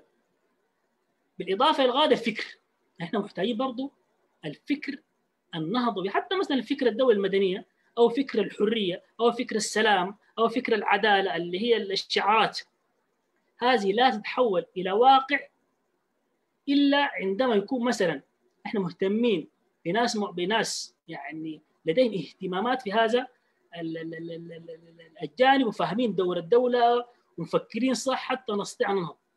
بالتأكيد أرجع لسؤالك مرة أخرى. أن إحنا محتاجين نهتم بالجميع حتى بأوائل الشهادة السودانية وما دون أوائل الشهادة السودانية. وفعلا المفروض نهتم بهم ون... ونرعاهم رعاية خاصة حتى نستطيع أن ننهض ككل. وبإذن الله سبحانه وتعالى نسأل الله أن تتسهل الأمور يعني. آه طيب أنا طبعا هنا أقوم بختلف معك طوالي في الحتة بتاعت إنه الاهتمام بأوائل الاشياء السودانية. آه هو طبعا ده توقع يعني anticipation. إحنا والله متوقعين وخاتين زي ما بيقولوا املنا في في الناس دي. لكن أنا أديك نموذج لأول شهاده سودانية هو إن إحنا عايشين في عقاب المأساة. مم. اللي هو عرفته صح؟ طبعا. حسن عبد الله الترابي. في النهايه معروف. أيوه نعم. فنحن في النهاية يعني ما لو خدينا نفسنا إحنا لازم نبني مجتمع مجتمع قائم على المؤسسات. طبعا. و... ونشتغل على إنه كل الناس تكون مدربة. كل طبعاً. الناس عندها فرصة. و... وما أظن هو الاستثمار بتاع 100 نفر بيفرق عن استثمار بتاع 400 ألف لو كان الموضوع في المنهج. ممتاز. لو كان في السلوك. ولو كان في التربية بتاعت البيوت. دي كلها حاجات ما محتاج يعني. محتاج أنت شوية إعلام. محتاج تدريب للأساتذة وتدريب للمدربين. اللي هيعملوا لك الكلام ده. محتاج لقدوة في المجتمع. الناس بيشوفوا القدوة. هسه كلنا بنسمع كلام شيخ الجامع. لكن شيخ الجامعة ده لو مشيت فتشته له حتلقاه أول شهاده ولا قريب لأول شهاده في سلطة نوع من السلطة اوثورتي. أنت تفتكر إنه والله يا أخي الناس اللي عندهم السلطة ال- ال- اللي هو بتاعت ال- العقل والفكر والكده اللي بتأهلهم لإنه يسووا فانت عايز تستثمر في العقل. أنت بتستثمر بس دي ما في سلوك. أنت داير بعدين والله تكسبهم مهارات. المهارات دي تكون هي الحاجة اللي حياخدوها من من حناخدها منهم نحن حنستثمر فيهم هم. عندهم عقل كويس بيستوعب الأمور بصورة أسرع مننا بيعانوا الأمور بصورة مختلفة. على أساس إنه حيحولوا علينا مهارات. طيب ما في مهارات نحن ممكن طوال يدربوا علينا ناس مدربين يدربوا على كل الناس. مش كده؟ أنت ما زول مدرب بتعرف طبعاً. الكلام ده. الناس طبعاً. بيجوك ما بتقول والله أخوان الناس ما شوفوا لي 2% شطار منكم ديل يجوني يقعدوا لي قدامي. أنت احسن تدرب كل الناس يعني. طبعا في زول صحيح؟ شغفه بموضوعك اللي بتدربه به ده أكثر من زول ثاني أشطر وممكن يستوعب مادة تكف أكثر من ذاك صحيح. لكن وأنا أشرت إنه الذكاء مش معناها يستطيع أن يكون ناجح في الحياة. نعم. هسه في ثلاثة حاجات، الحاجة الأولى اللي هي بتاعت ال IQ الذكاء ده. وفي الحاجة الثانية اللي هو الذكاء العاطفي ال emotional intelligence وهسه في نوع جديد من الذكاء بقى مهم جدا جدا اسمه ال adaptability intelligence المقدرة بتاعتك على الاحتمال والتحول والصمود في بيئات مختلفة. يعني هسه الليلة الكورونا دي دخلت في الناس مشاكل كبيرة جدا جدا. في كمية بتاعت ناس حيفقدوا شغلهم وفي ناس فقدوا already وإلى آخره وإلى آخره. فعلا صحيح. كيف أنت حتقدر تتواءم مع الوضع الجديد؟ يعني أنت اللي كنت أول شهادة مدينك أكبر المختبر المركزي ده في السودان أنت ماسكه. تمام؟ جوك فجأة كده قال لك أسمع والله ما في ميزانية السنة دي. حتشيل شهاداتك وتبقى تخارج برا انت زول شاطر وعندك خبرة وأي زول حيشيلك وده الحاصل كل الناس بيمشوا هو ده الحاصل. أيوه صحيح. لكن الان اللي بيقعدوا منه بيقعدوا ما ولا الشهادة ما الناس اللي استثمرت فيهم انت. انت استثمرت في زول مشى. شفت كيف؟ فدي حتة مهمة جدا جدا. في نموذج مهم جدا لازم نذكره هنا ده في الحتة دي. في كلية اسمها كلية القدم الحافي ال Barefoot College ودي بدأها البروفيسور بنكر روي في الهند. وبتهدف لإنه إنارة القرى في الأرياف. يعني آه، كل حتة دارين ننورها بواسطة الطاقة الشمسية. حلو. التجربه دي جابتها الدكتورة غادة كدود السودان وكانت استضفناها في تدكس خرطوم قدمتها يعني. الناس اللي بيدربوا منه بيمشوا القرية النائية بيدربوا الشباب.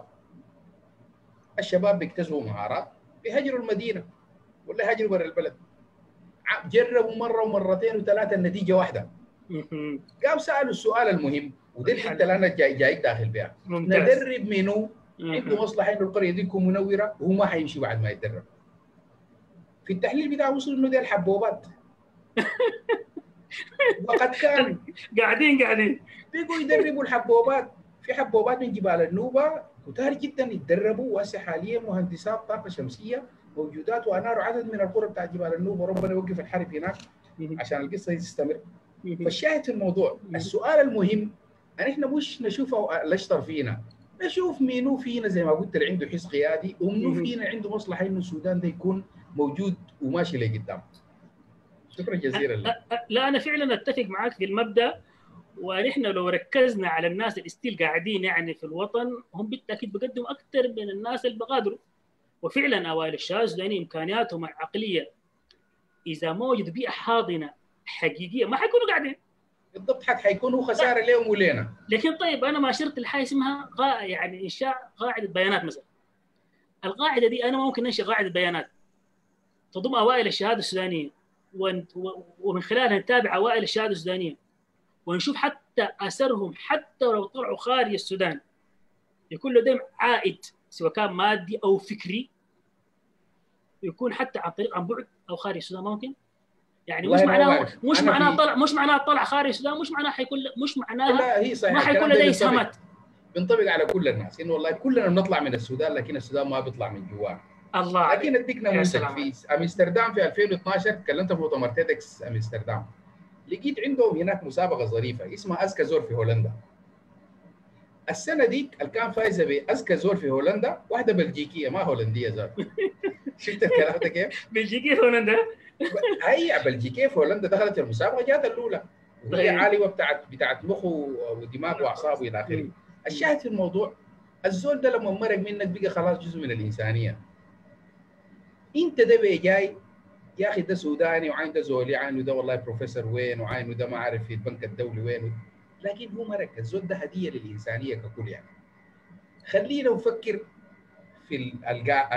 القعدات دي زي ما يقولوا الجفل نخليه اقرا الوفات اهي نقرأ على الوقفات الموجودين ديل كل الطلاب ديل إحنا ما دارين طالب واحد في السودان يكون drop out يكون يعني فاقد التربيه ولا يكون برا المدارس. صح صح صح. كل طالب زي ما قال بيكاسو كل طالب فنان.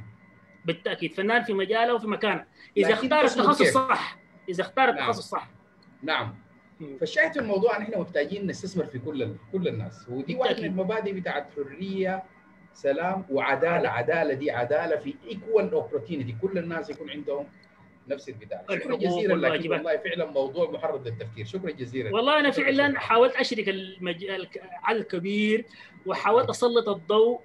حتى الموضوع ده يجد اهتمام. بالله سؤال أنت مش بترى إنه أن إحنا خلينا نمسك الموضوع. مش بترى إحنا مقصرين. أو أوائل الشهاده السوداني مقصرين في حق السودان والسودان مقصر في حقهم؟ مش بترى ذلك؟ السودان مقصر في حقهم دي أكيد لأنه زي ما قلت لك بديت لك كلامي بانه المؤسسات بتفشل الناس في السودان. أي زول فينا إحنا أي زول خلى مثلا المدرسة من من يعني إحنا في زماننا كان ال ال الابتدائي المتوسط الثانوي. أي زول في كل نهاية فترة في ناس بيخلوا المدرسة من سادسه في ناس بيخلوا من ثالثه متوسطه في ناس بيخلوا في ناس من الثانوي بيخلوا. صحيح. أي زول خلى المدرسة ده كان مشروع بتاع أينشتاين. منو فينا عارف؟ يعني إحنا ما ادينا أول فرصة. أيوه حتى بتاعتنا ونظام تعليمنا ونظام عقابنا وإلى آخره. ده هو اللي بيفشلنا. لكن إحنا كأفراد لما نطلع برا السودان بنلقى البيئة الحاضنة فعلا بنلقى أنا شخصيا ما كنت عارف إنه أنا زول كويس في الريسيرش. ما كنت عارف نهائيا. صحيح. لحد ما يوم أخذت جائزة أفضل بحث علمي في مؤتمر دولي في كوريا الجنوبية. ما شاء الله ما شاء الله. أنا لا أول شهادة ولا قريب من اوائل الشهادة ولا ولا قريب منهم ذاته. من الجماعة من, الجماعة المتحده هاي لما تلقى لما تلقى البيئة الحاضنة انت الأفكار بتتولد. ودي المؤسسات البرة. يا اخوانا أنا بقول الجامعات الكويسة ولا المؤسسات التعليمية الكويسة هي اللي بتنجح الفاشل. بالضبط. يعني إحنا بالضبط. مؤسساتنا بتفشل الناجح. بالضبط. اتفق أتفق في هذا المبدأ. فده ده, ده الموضوع يعني. هذا لحظة نفكر نفكر. هل السودان فيه مشكلة أطباء؟ كافراد لا. في مشكلة هل- بتاعت لا، إدارة. هل عنده مشكلة؟ اطباء الإجابة لا. عندنا اطباء مميزين جدا. هل عندنا مشكلة مهندسين؟ الإجابة لا. هل عندنا مشكلة معلمين؟ الان المعلمين مثلا على المستوى الوطني العربي السودانيين ناجحين جدا. هل عندنا مشكلة محاسبين؟ هل عندنا مشكلة اقتصاديين؟ لكن المشكلة حقت الإدارة والقيادة الداخل الوطن ما بتشجع الناجحين وأنا أشرت لشيء مهم جدا تكسير المجاديف. نعم. إحنا طبعا الحتة دي واضحة جدا في السياسة. طيب. يعني السياسة دي أكثر حتة معنية بالقيادة. بالضبط. يعني إحنا الأحزاب السياسية بتاعتنا ما قائدة. وقادة الأحزاب بتوعنا ما قوة ما قادة. هم نفسهم. يعني أنت الليلة كقائد يفترض. إنك تطلع قادة بوراك السي وفي ده مستضيف ال seminar ممثل لمجموعه الباحثين السودانيين وكل شيء. أنا مهمتي كأنور الزول اللي انشات المجموعة دي قبل 10 سنوات. مهمتي إنه أعمل الدور ده. إنه نعم. وفي في يوم من الأيام. يستلم القيادة ويمشي لقدام وأنا بعد ده عملت الدور اللي علي فعلا. مش لأنه إني مثلا أنا بصنقر في المجموعة دي بس. أنو- أنور اليوم يرحل وتبقى تبقى مجموعة الباحثين. الفكرة وتبقى نعم. القصة بتاعت ال ال ال الجيل يدي الجيل اللي بعده كده. ما ممكن يا اخواننا أنا قلت يعني مثلا الإمام الصادق المهدي ده يا أخي ده رئيس حزب قبل ما أمي يلدوها. صادق قبل ما يلدوا امه مش أنا ده. فالشاهد في الموضوع يعني أنا ما بضرب يعني مثلا مثلا عشان الصادق تحديدا لكن قصدي ده, ده نمط بتاع قيادة. كمثال نعم. زول موجود هسه حاليا؟ يعني مثلا أنا شخصيا شفت خمسة رؤساء وزراء بريطانيين في حياتي أنا ده. في. نفس الوقت بعين بي جاي بلقى مثلا بيشا والصادق والمرغني يعني قاعدين. فما ففي مشكلة في مشكلة حقيقية. الكلام ده نحن لازم المؤسسات المعنية بالقيادة تورينا النموذج بتاع القيادة أول. انت عارف اديك معلومة بسيطة جدا في موضوع هذا؟ القائد الحقيقي يحيط نفسه بمجموعة أقوياء وليس بمجموعة ضعاف.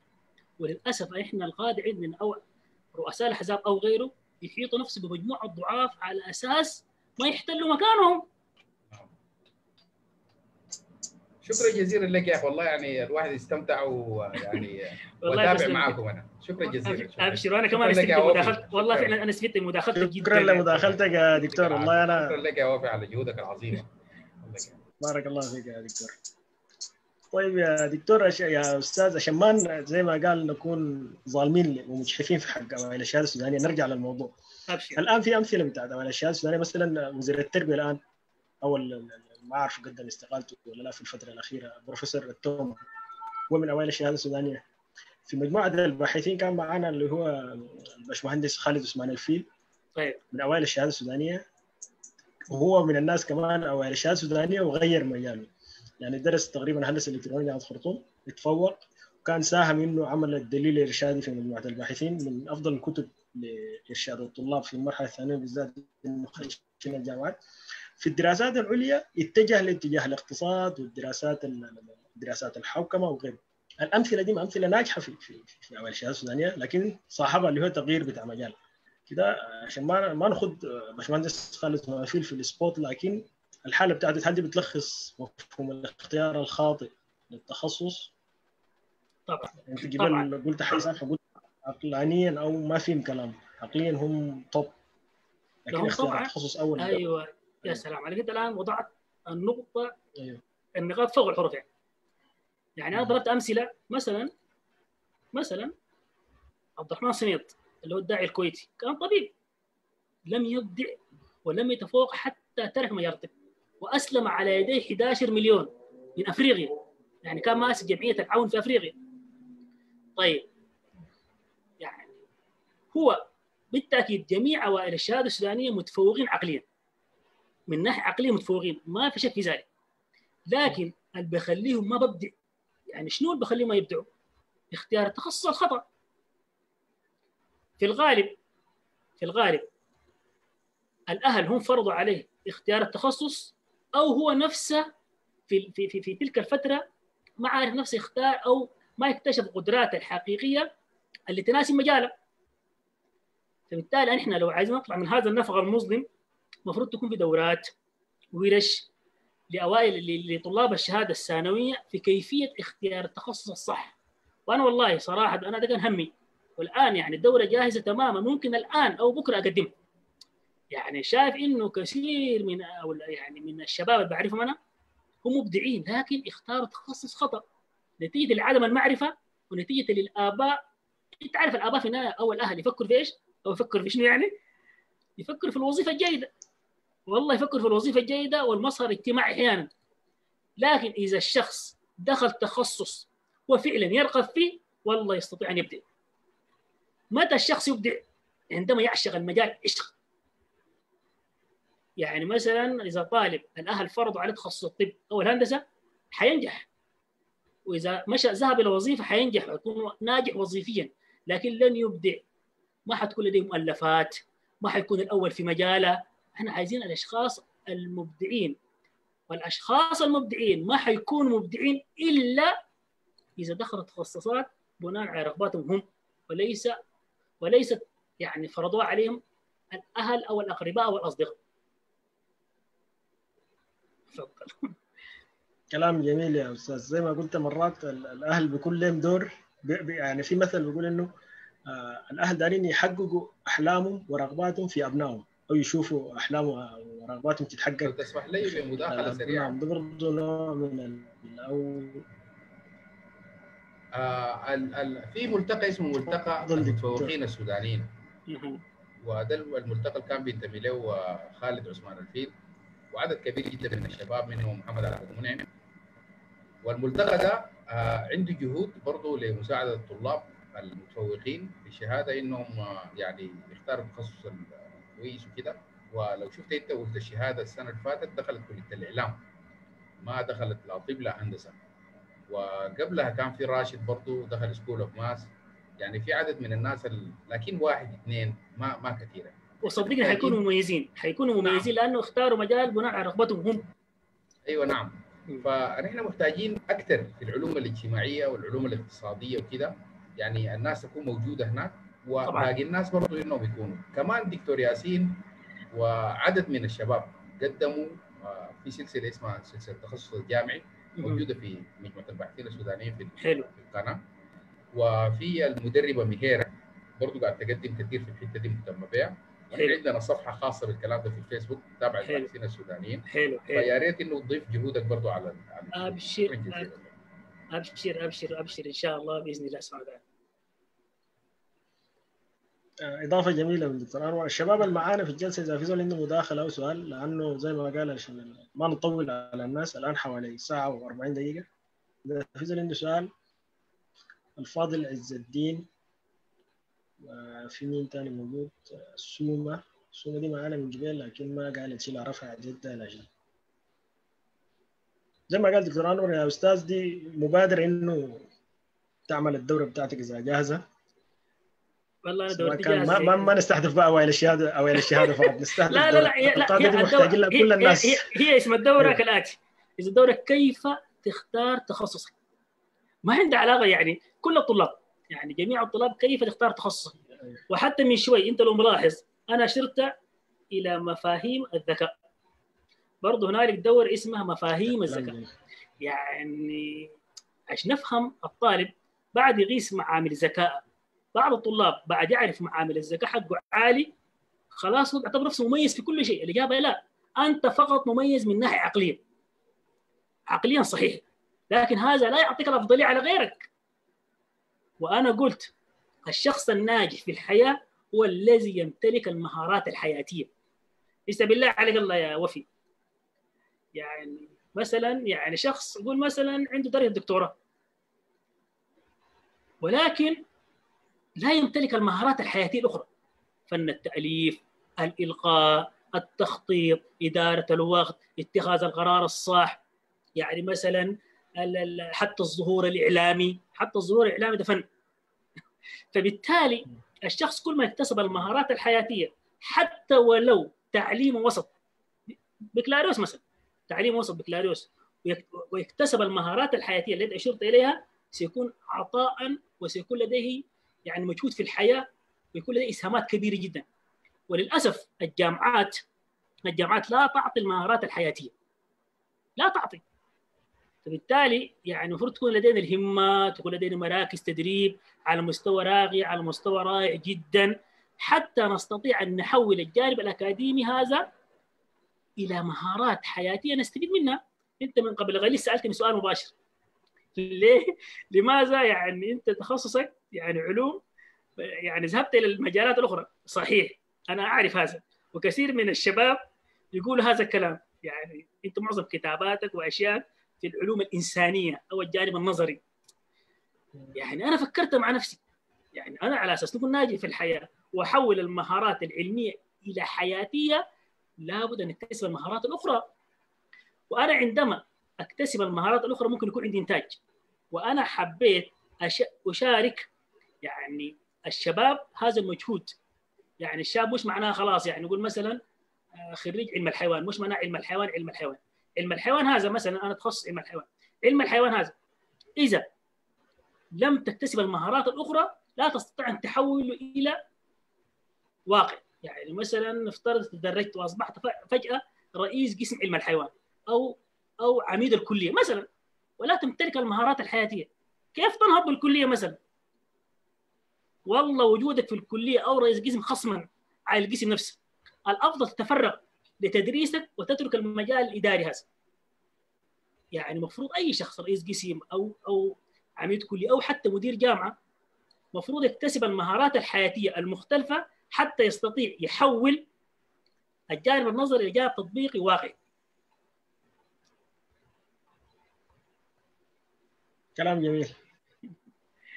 والله يا أستاذ زي ما قلت لك نترقب طيب ال- ال- المحاضرة الجاهزة بتاعت الدوره بتاعت كيف تختار التخصص. ويفضل انها تقول تكون بعد امتحانات الشهادة إن شاء الله عشان هسه ما نشغل الشباب الممتحنين يوم 19 يوم 13 تقريبا. ونعطيك يعني معلومة ثانية أواخر شهر سبتمبر. أيوه. حتى هنالك دورة أخرى اسمها عبقرية المذاكرة. كيف الشخص يذاكر. بعبقرية؟ لو متذكر أنا كان عندي مقال بعنوان آه، الشهادة السودانية والمذاكرة الفعالة.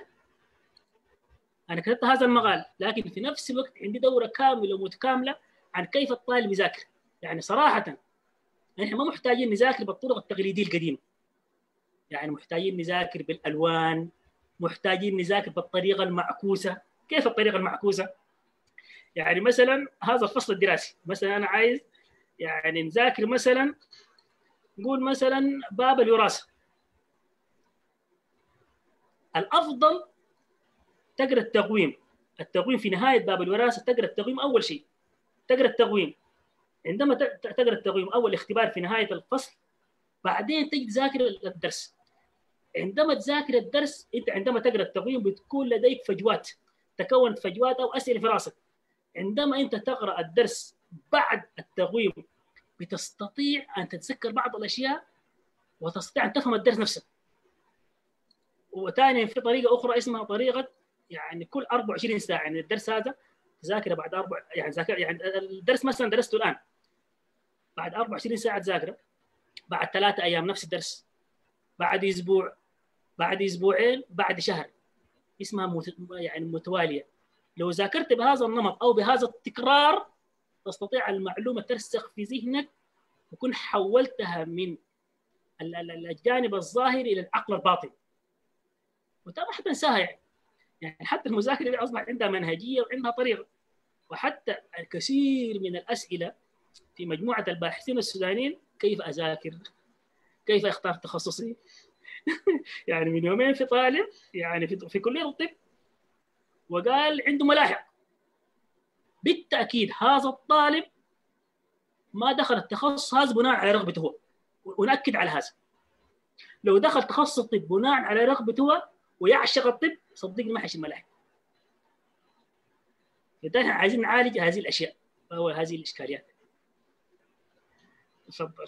هذا كلام جميل يا دكتور ونذكر الجميع إنه الأستاذ محمد عبد السلام عنده دورة في طريقة المذاكرة دورة في اختيار التخصص الجامعي دورة في القيادة. إن شاء الله هتكون كيف نخلق خادم بدل ما نخلق زي ما قال طلاب حافظين فقط. أيوه يا سلام عليك. طيب يا دكتور الآن أنا طبعا غلطت يا جماعة فلي ما ما ما نشرت ال post مباشرة في مجموعة الباحثين نشرته في صفحتي الشخصية لكن في النهاية عملت له share في كل المجموعات. فيمكن ده السبب إنه الحضور ضعيف أو يمكن بسبب الفيضانات. الحاصلة في البلد ربنا يهون إن شاء الله. أو ممكن بسبب أو بسبب الميجا بايتات. يمكن الشباب دي الشباب دي الواضح يا وفي إنهم بيكون داير يتكلم ولا حاجة لكن المايك ما مقفول منهم. فحقه تعمل أفتح المايك أنا ما عندي مشكلة موجود. أديتهم الفرصة إنه يفتح المايك. كل الشباب دي. أنا موجود وما مستعجل يعني عندي جاهزين. سؤال يتفضل يا جماعة. عشان ال- ال- ال- الفيديو ما يكون طويل الآن قربنا من الساعتين. اللي عنده سؤال يتفضل يسأل. صورة سريعة. الفاضل عز الدين سليمان حمدي. سومة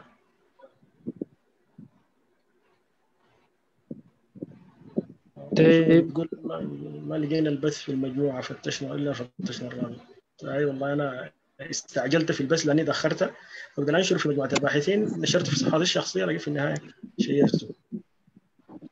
تفضل يا سليمان.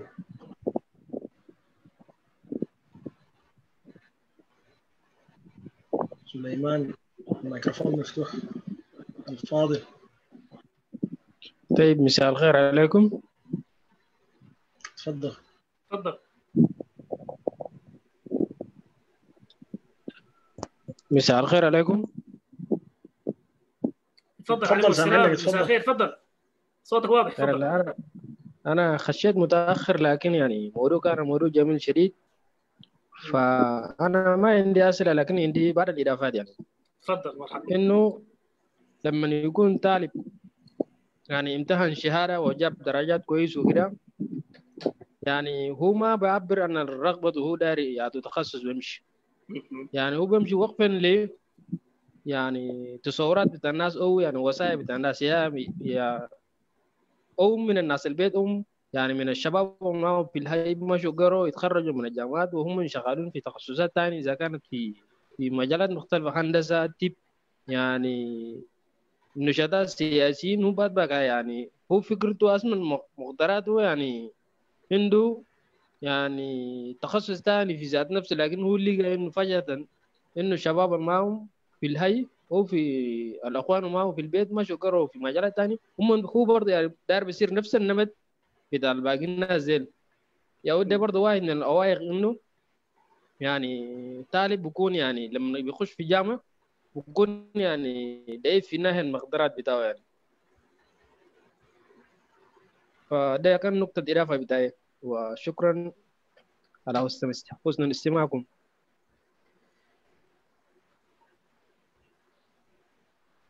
تفضل عقب يا أستاذ على كلام okay. الفاضل. okay شكرا على الإضافة وإحنا صراحة سعيدين. آه، نسمع مثل هذا الآراء من شباب يعني عقولهم ما شاء الله متفتحة وواعية بالحاصل. وأنا صراحة عندما أسمع رأي من شاب أو من من- من الشباب مثل هذه الآراء يدل على أن هناك وعي. فعلا أنت كلامك صحيح وذكرت كلام معقول جدا إنه كثير من الشباب لا يدرون عن التخصصات الجامعية. ولا وبالتالي استسلموا استسلام كامل للأهل في اختيار التخصص. كده سؤال مهم. نفترض طالب ويرغب في تخصص محدد والأهل في المقابل يرغبون في تخصص آخر. الطالب هل المفروض يستسلم إلى قرار الأهل ولا يصير على رأيه هو؟ من الافضل يصير على رايه هو. حتى العلماء وأنا سمعت علماء وشيوخ أنا لست شيخا يعني. قالوا مثلا هل إذا أنا إذا أنا رغبة تخصصي تعارض مع الآباء قول الاب والأم مثلا. ولم أسمع كلام الأب والأم. هل في هذه الحاله أنا أعتبر عائق للوالدين؟ العلماء ردوا قال في هذه الحاله أنت لا تعتبر عائق للوالدين لأنه هذه حياتك أنت. بر الوالدين في الأمور المتعلقة بهم هم. وليس في حياتي أنا. مفروض الأهل يتفهموا هذا الدور ويحترموا رغبة وتخصص الأبناء. الأهل عاشوا حياتهم. هذه حياتي أنا أو حياتك أنت يا أول الشهادة السودانية أو غير أول الشهادة السودانية. يجب أن تعيش حياتك. وأنا ذكرت وقلت الطالب إذا عايز يدخل أي مجال ما في مجال ممنوع ولا في مجال فضيحة ولا عيب والله والله أنا شخصيا لو أول الشهادة السودانية يرقب في كلية أصول الدين أو الدعوة أو التربية رغبة حقيقية والله أنا شخصيا أشجعه ليه ما أشجعه؟ لأن عندما يدخل تخصص بناء على رغبته هو سيبدع وسينتج. حتى الأهل الذين ينظرون إلى التخصص هو وظيفة أو مسار اجتماعي والله في أصول الدين يجيب الشغل ويجيب الإنتاج ويجيب المسار الاجتماعي يعني تخيل مثلا أول شهادة سودانية دخل أصول الدين مثلا وتميز في أصول الدين. واصبح الداعي الأول في السودان. وأصبح لديه 100 100 ألف 100 كتاب مثلا. أصبح يقدم دورات في مجاله. أصبح يقدم محاضرات على مستوى الشرق الأوسط والعالم. بالله عليك. حيكون حيكون هو أكثر عطاء وانجازا في الحياة ولا شخص استسلم لرغبه الأهل ودخل تخصص وأصبح متواضع.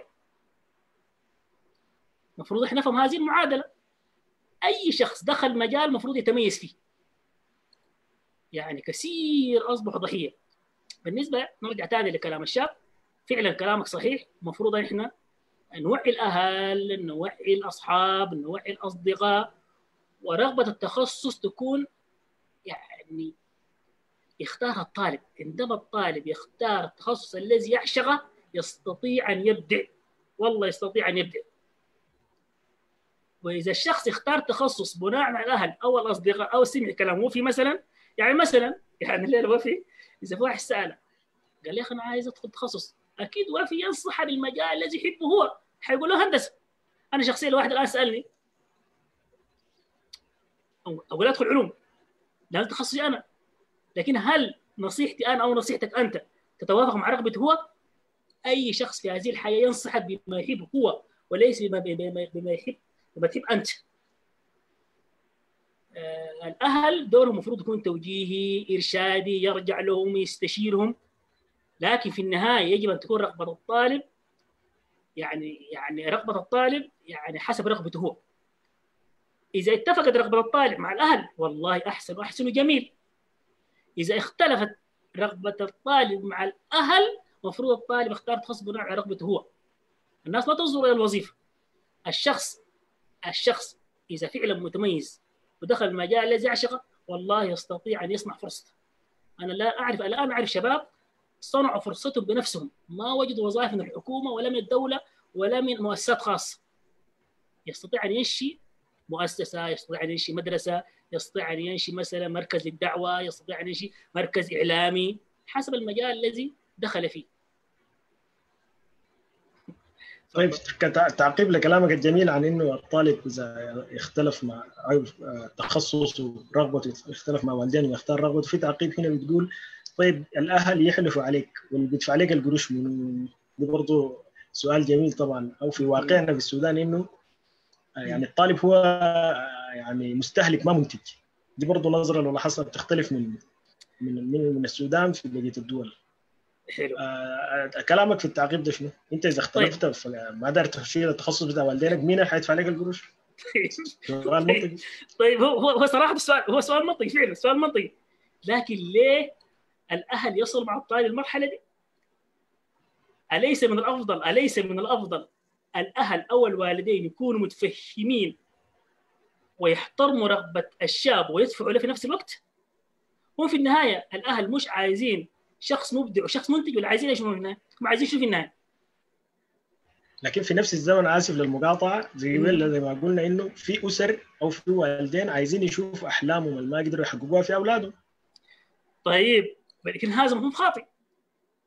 يعني مثلا يعني مش معناها الأب ما مثلا الأب ما دخل كلية الطب عايز ولده يدخل كلية الطب يا أخي أنت كنت تتمنى طب لا تفرض عليه الطب أنا إذا كنت أنا أحب الطب والله ما في مشكلة. أحقق رغبتي أنا وفي نفس الوقت رغبتك أنت يا أب يا أو يا أم أو يا أهل أو يا أصدقاء أو يا أصحاب. ما عندنا مشكلة.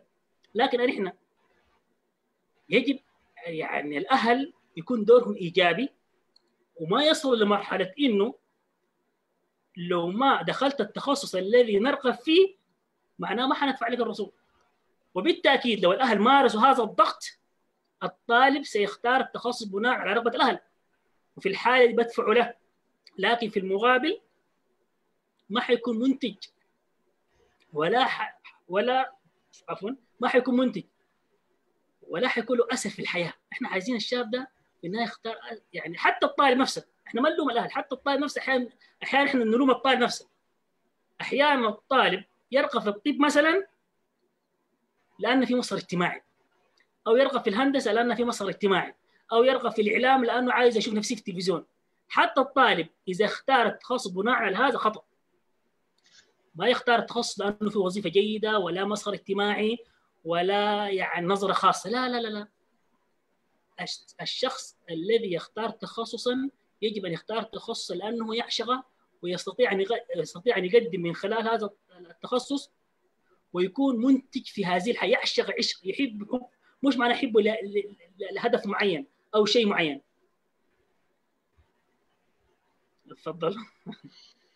آه والله كلامك جميل يا أستاذ وإن شاء الله دي حتكون أول سلسلة في الدورة اللي أنت قلتها في كيفية اختيار التخصص الجامعي وكيف كيفية صنع القادة والإرشادات الجميلة اللي أنت قلت إنك لا جاهزة إن شاء الله زي ما جاهز وعدتنا بعد امتحانات الشهادة الثانوية.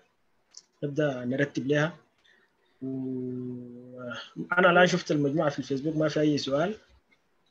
عشان ما زي ما قال عشان التسجيل يكون قبل المشاهدة ما يطول أكثر من كده. فحنوقف هنا إن شاء الله. يعني طبعا ما قطع على حديثك صحيح إحنا يعني دوره اختيار التخصص الجامعي المفروض نقدمها بعد امتحان الشهادة الثانوي. لكن إذا أتيحت الفرصة يعني ممكن نقدم أيضا دورة في كيفية المذاكرة الفعاله على ما اعتقد دي المفروض تكون قبل الامتحانات الشهادة الثانوية. كلام جميل كلام جميل. خلاص إن شاء الله في خلال الشهر في خلال الأسبوع الأول من شهر تسعة بإذن الله قبل الامتحانات ننسق ونقدم دورة المذاكرة الفعالة. تنفع الشباب بإذن الله. طبعا بإذن الله سبحانه وتعالى إن شاء الله. شكرا جزيلا يا أستاذ والله قدمت كلام جميل جدا والمداخلات برضو كانت أجمل ونشوفك بإذن الله. أبشر وأنا صراحة سعيد جدا وشاكر لكم حسن الاستضافة هذه. ونحن في النهاية الهم واحد والهدف واحد أنتم ونحن كلنا هدفنا واحد. يعني الهدف هو نقدم للسودان ولو جزء قليل. مهما قدمنا ومهما تكلمنا ومهما تناقشنا والله يعني بنشوف نفسنا ما قدمنا شيء. وأنا الآن رغم إنه الآن هذا اللايف تقريبا استمر لمدة ساعتين صحيح؟ ساعتين تقريبا. والله ما مليت ومستعد ثاني أجل الساعتين من أجل الشباب. شكرا كثير والله. الله تسلم كثير. تمام بارك طيب أنا عشان أوقف رجعني host بس يا أستاذ عشان أنا أعمل الإيقاف أو أنت عامل إيقاف لل live streaming من فيسبوك okay حاضر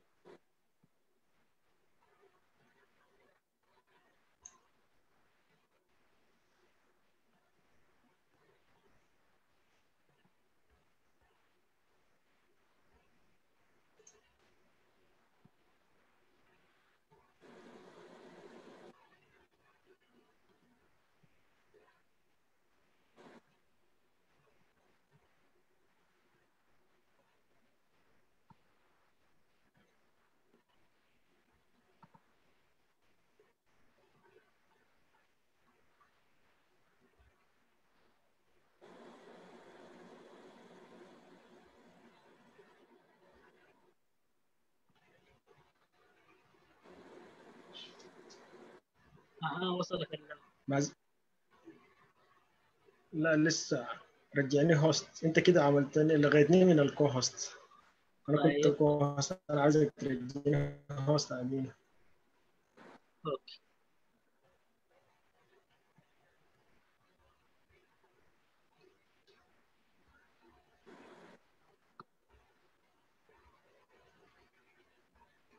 تمام. أنا هوست الآن.